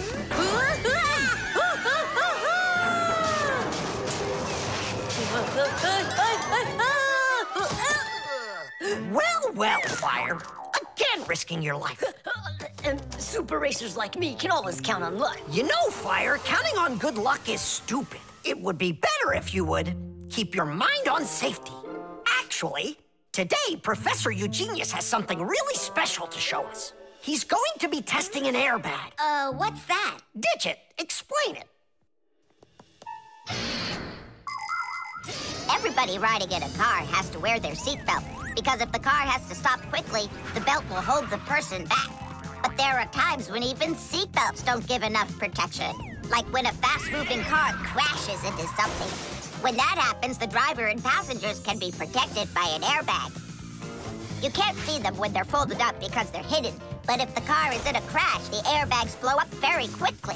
And the person bumps into the bag instead of banging into the steering wheel or flying through the windshield.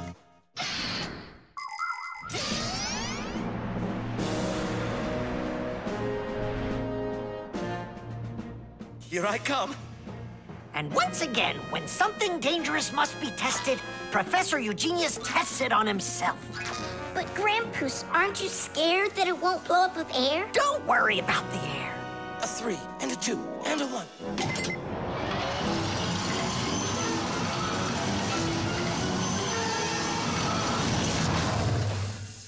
The airbag filled up in an instant. Did you notice? Yeah, but how does it do it? There is a chemical inside of there that quickly burns and instantly turns into a gas the moment the crash takes place. The gas fills the airbag, and there you go. Did I explain that right, Professor?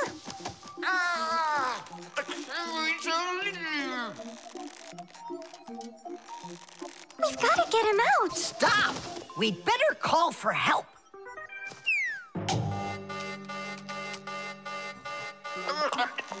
Professor, do you need some help?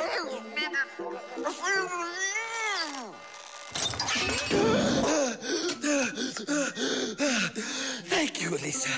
Sorry to take you from your work. You're free to go.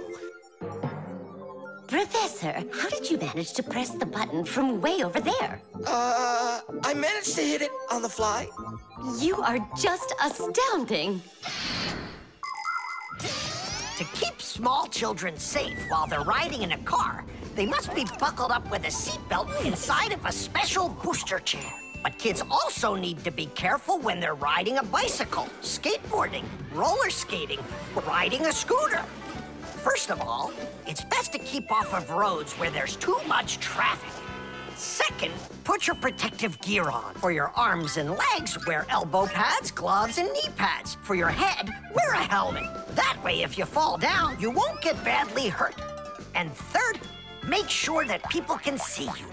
If you're out riding in the evening, your clothes and bike must have safety reflectors on them. They let drivers see where you are by reflecting the light from their headlights back at them. Remember, better safe than sorry.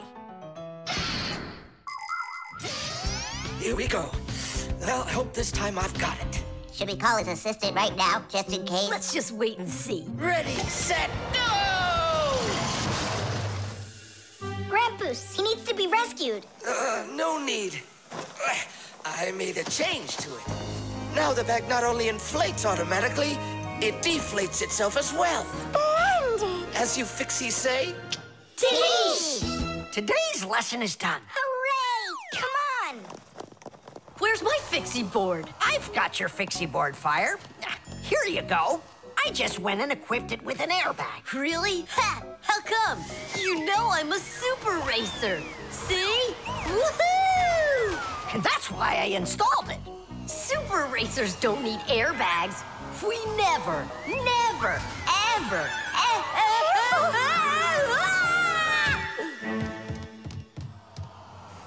Oh, wow! Is that airbag cool or what? It's a very original design he used there.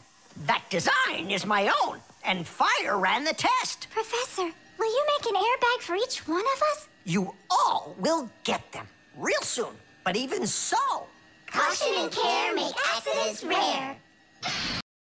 Chess. hmm, how about that? then I'll play my pawn. And I'll play my pawn. Grandpus, we need our spool, and it's missing. Oh, congratulations. Professor, have you seen it anywhere? The spool? I haven't seen it. We're playing chess, can't you see? Do you like board games? Like dominoes, for instance. Just about everybody has played it. But do you know where it came from? Dominoes was invented by the ancient Chinese. They made tiles and decorated them with dots like on a pair of dice. And this is a game that looks a lot like checkers, but it's a lot more challenging. It's called backgammon. Backgammon originated in Persia, and from there it spread all over the world. But the most challenging game of them all is the game of chess. Chess was invented in India, and today the game of chess is loved in every country. It's played by adults, by children, and even by computers. Chess is a real sport. But the most important thing for playing chess is not the power in your arms, but the power in your brain. Hey, look, I found it. Uh, hey, what's going on? That's our spool. Please let us take it back. There's something we have to do with it. But we're using it. Can't you wait? It's a replacement for the missing pawn. Oh. Oh, Nola can work for a while as the pawn's replacement. Yeah. Ugh. I can do it. All right, you can take it. And you stand right over here. One, two, three, up we go! Class. So how do we play? You're going to play for the whites. And now I'm going to capture your knight. And we... We're gonna knock over yours. Take that. Whoa, whoa, whoa, young man. Slow down. It goes back here.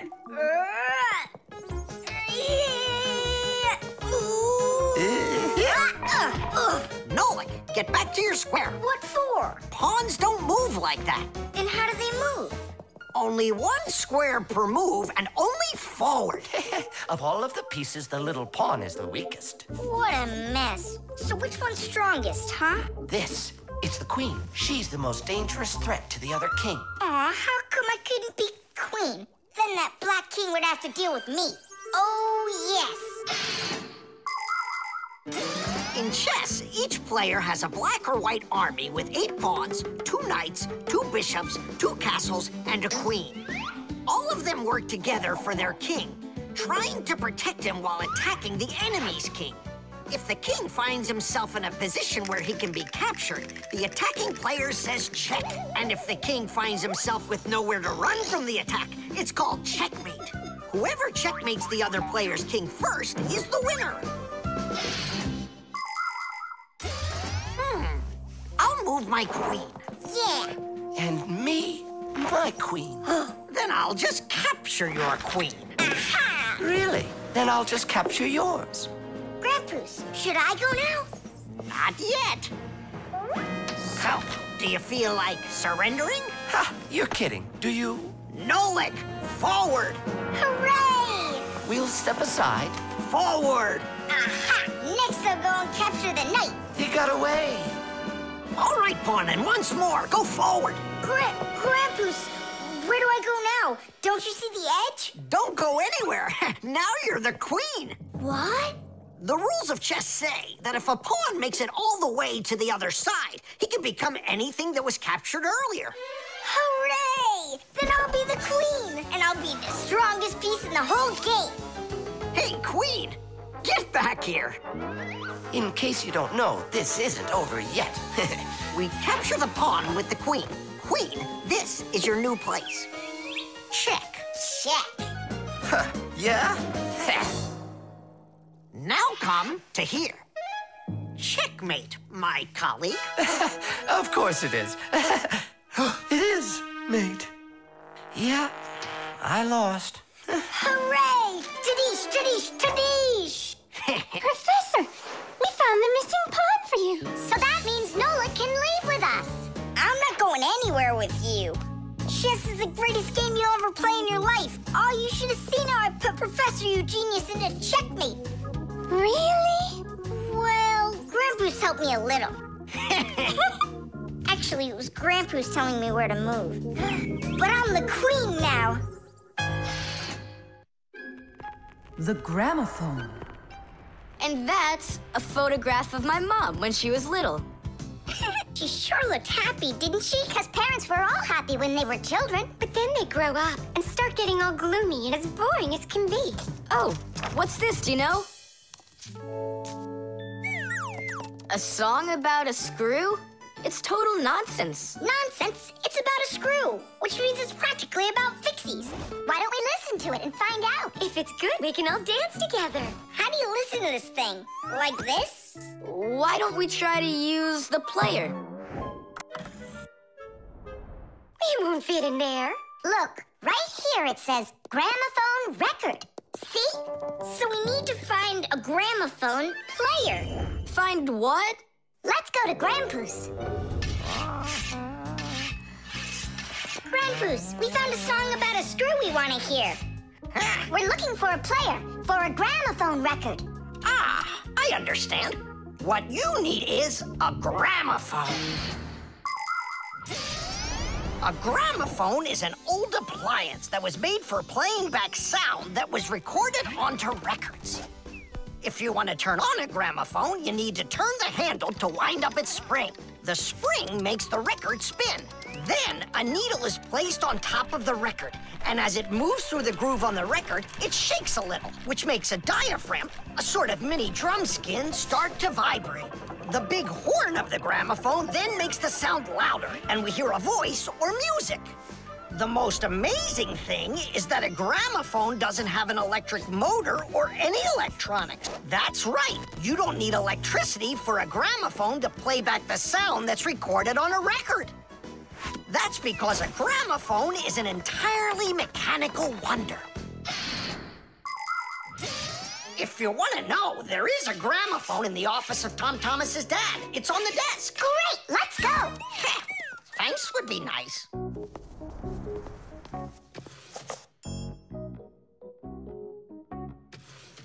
I can't find the on button. There is no on button. You need to grab that handle and turn it. Now take that thing and put it down onto the record. Hmm, it's not playing. Look, there's no needle in there. And where can we get one from? We can make it. Do you have any nails around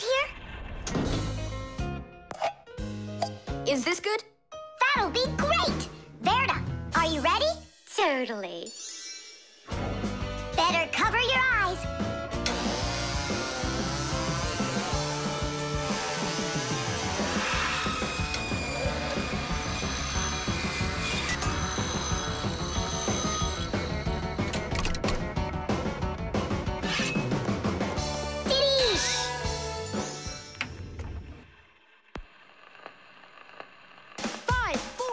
It's working, listen. A little screw went for a run, and now without this little part, everything just falls apart. If you think a screw is nothing, take it out, but just beware. Everything will break without 'em, with no little screws in there. The bulldozer was a strong one until there was a thud. And then the mighty giant fell straight into the mud.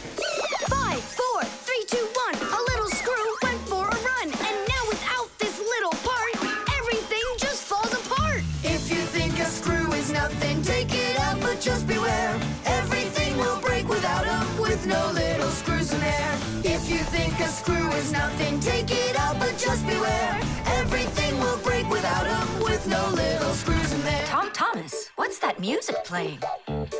It's a gramophone record. Gramophone? I thought it was broken. We fixed this old. eh, not we. I fixed this thing. Really? What a wonderful boy I've got. Other kids are breaking things and you fix them. What do you say we play that record once more? I used to love it so much when I was little. The mighty crane was working until there was a pop. And then the mighty giant gave out and lost its top. Five, four, three, two, one. A little screw went for a run. And now without this little part, everything just falls apart. If you think a screw is nothing, take it out, but just beware. Everything will break without 'em, with no little screws in there. If you think a screw is nothing, take it out, but just beware. Everything will break without Thomas's mom really dances super. Yeah, she knows how to have a good time, even though she's a grown-up. If you think a screw is The video call.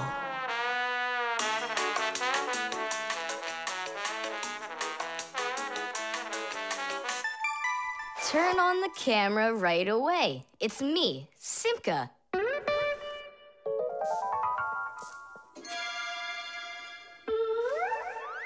As I expected. Nolik, why aren't you in school?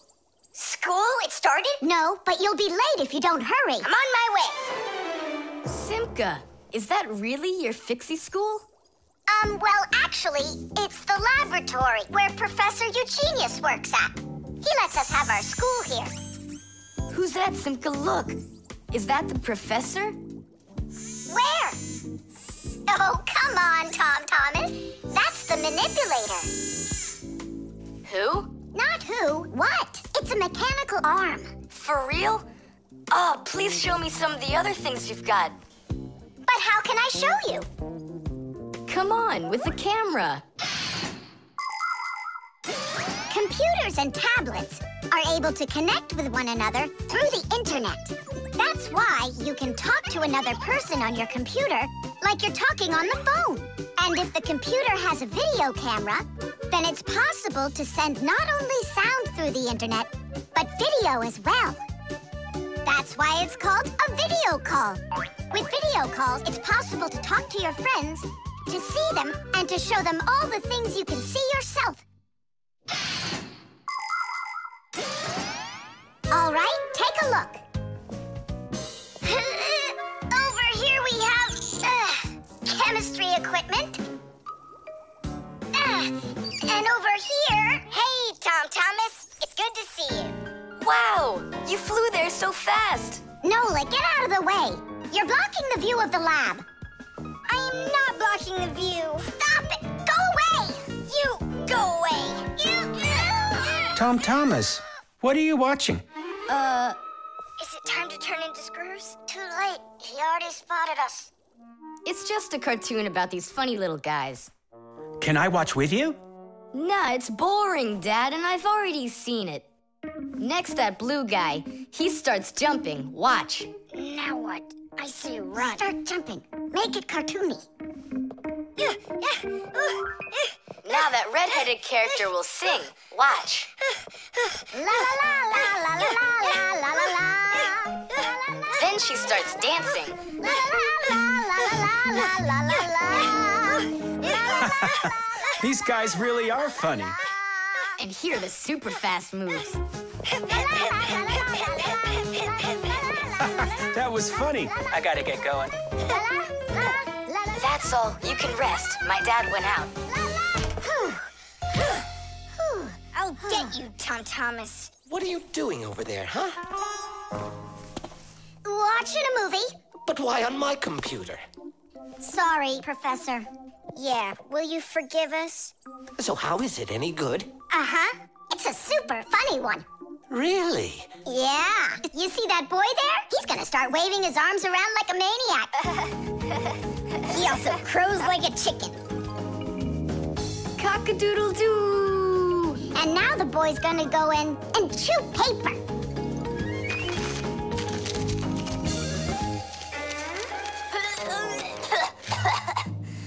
I can't do this all at once. Hmm. A movie. That's what we're watching here, right?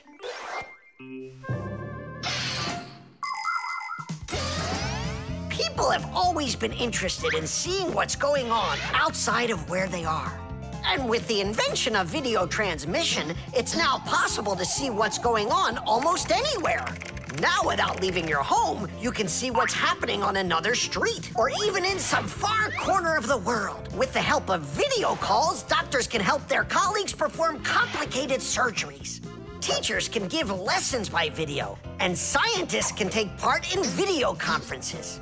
With video, you can watch a live theater performance in another country. And even in outer space, an astronaut can feel right at home just chatting away with friends and family. And it's not just for astronauts either. Now almost every tablet and phone here on Earth has video in it. Introducing Tom Thomas. Nice to meet you there, son. And I'm Professor Eugenius, so I guess you're also a friend of the Fixies. Yeah, only it's a secret. My friend, that's a secret the two of us share. And you know, keeping secrets is what friends do. The bee. Tom Thomas, Hello. how come you're eating jam straight from out of the jar? Because it tastes so good. A bee!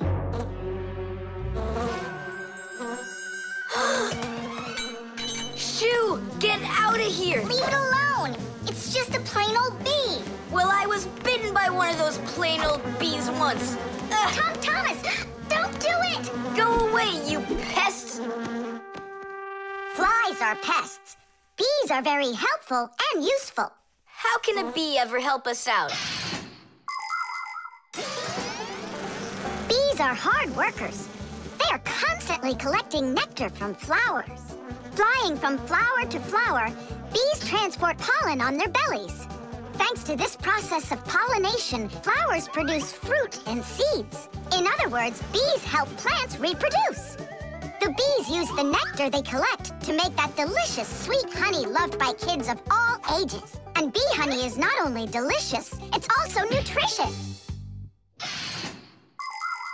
So I'm still afraid of it. What if it bites me? Bees don't bite, by the way.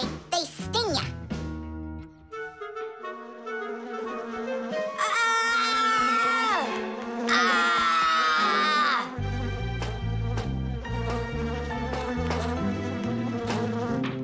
Well, now I'm gonna show you. The bee's the one who should be afraid. You tyrant. Yeah, you let it go, tyrant. Why are you calling me names? Who's stopping her? She can fly away if she wants. We need to show her the way out. Well, how? Here, little bee. Fly this way. Why don't you try going? Then what can I say?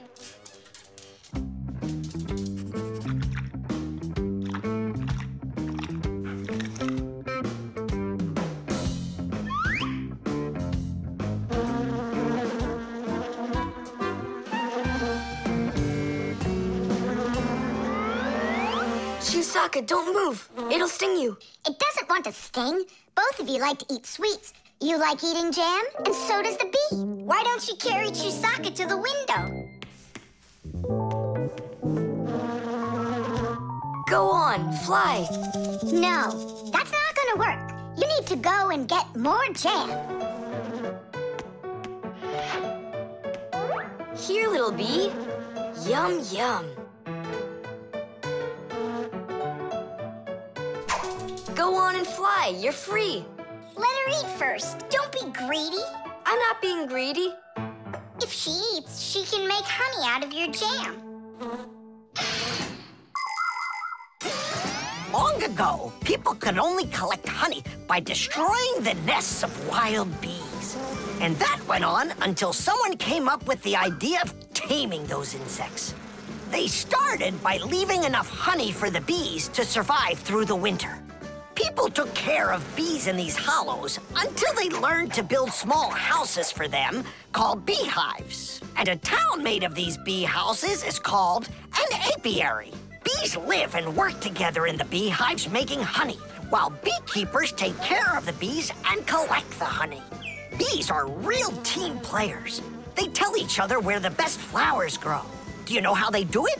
One of the bees does a dance, and then the rest of the bees watch the dance and learn where they need to fly.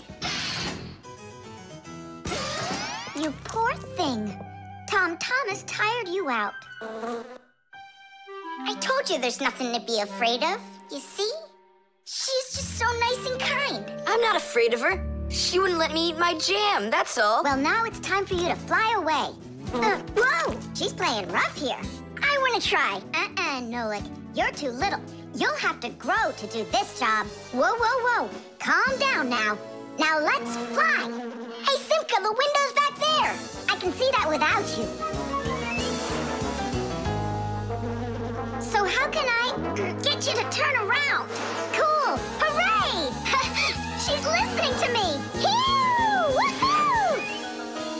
Don't miss the window. Now! So long, honeybee! Tidish! Tom Thomas, do you have any more of that jam left? Yeah. What for? Bring it here.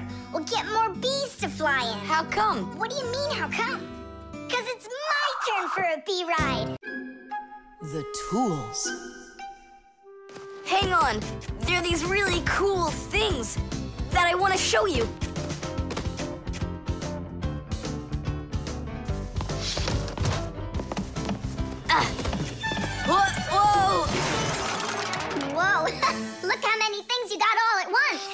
Your dad's gonna be so angry when he sees what you did with all of his tools. I'm gonna put them all right back where they were. And where were they? Open the box and you'll see. It's neat. There's a special place in there for each one of the tools. Try hammering in a nail or drilling a hole with your bare hands. Uh-huh. There's no way. But with the help of the proper tools, it's a piece of cake. But of course, that's only if you know how to use them. Tools need proper care. If the head of a hammer is loose or a drill is dull, then you shouldn't work with them.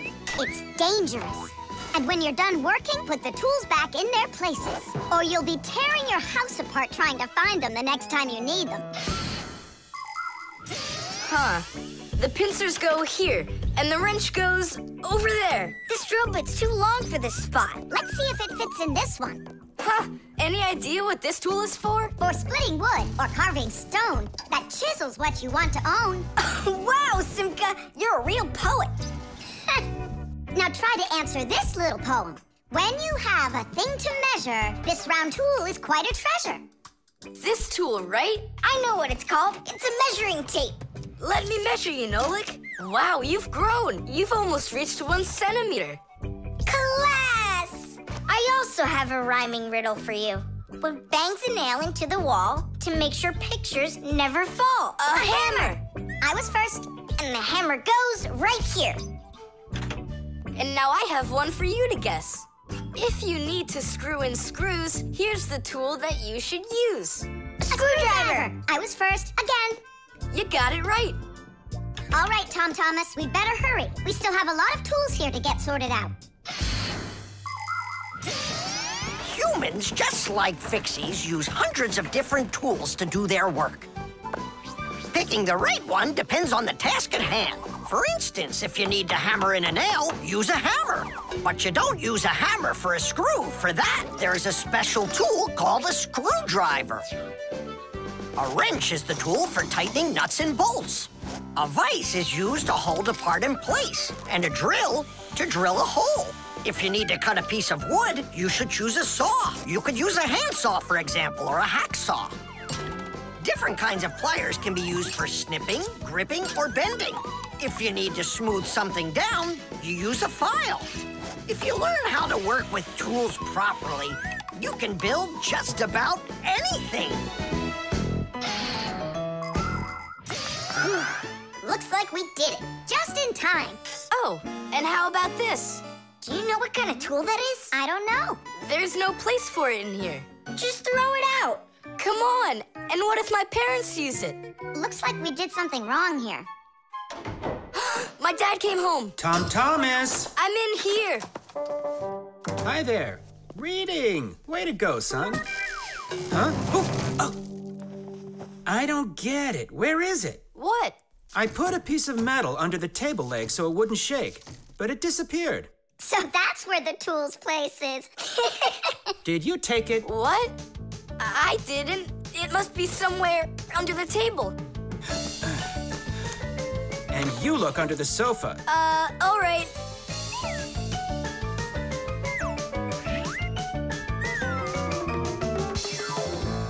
What do you think he wants? He wants us to get that metal thing out of his dad's box. Come on, let's go. You got it.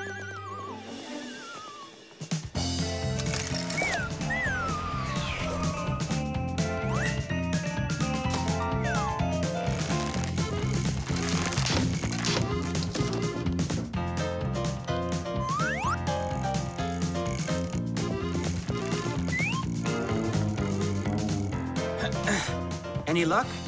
Uh-uh. Ah, uh, me neither.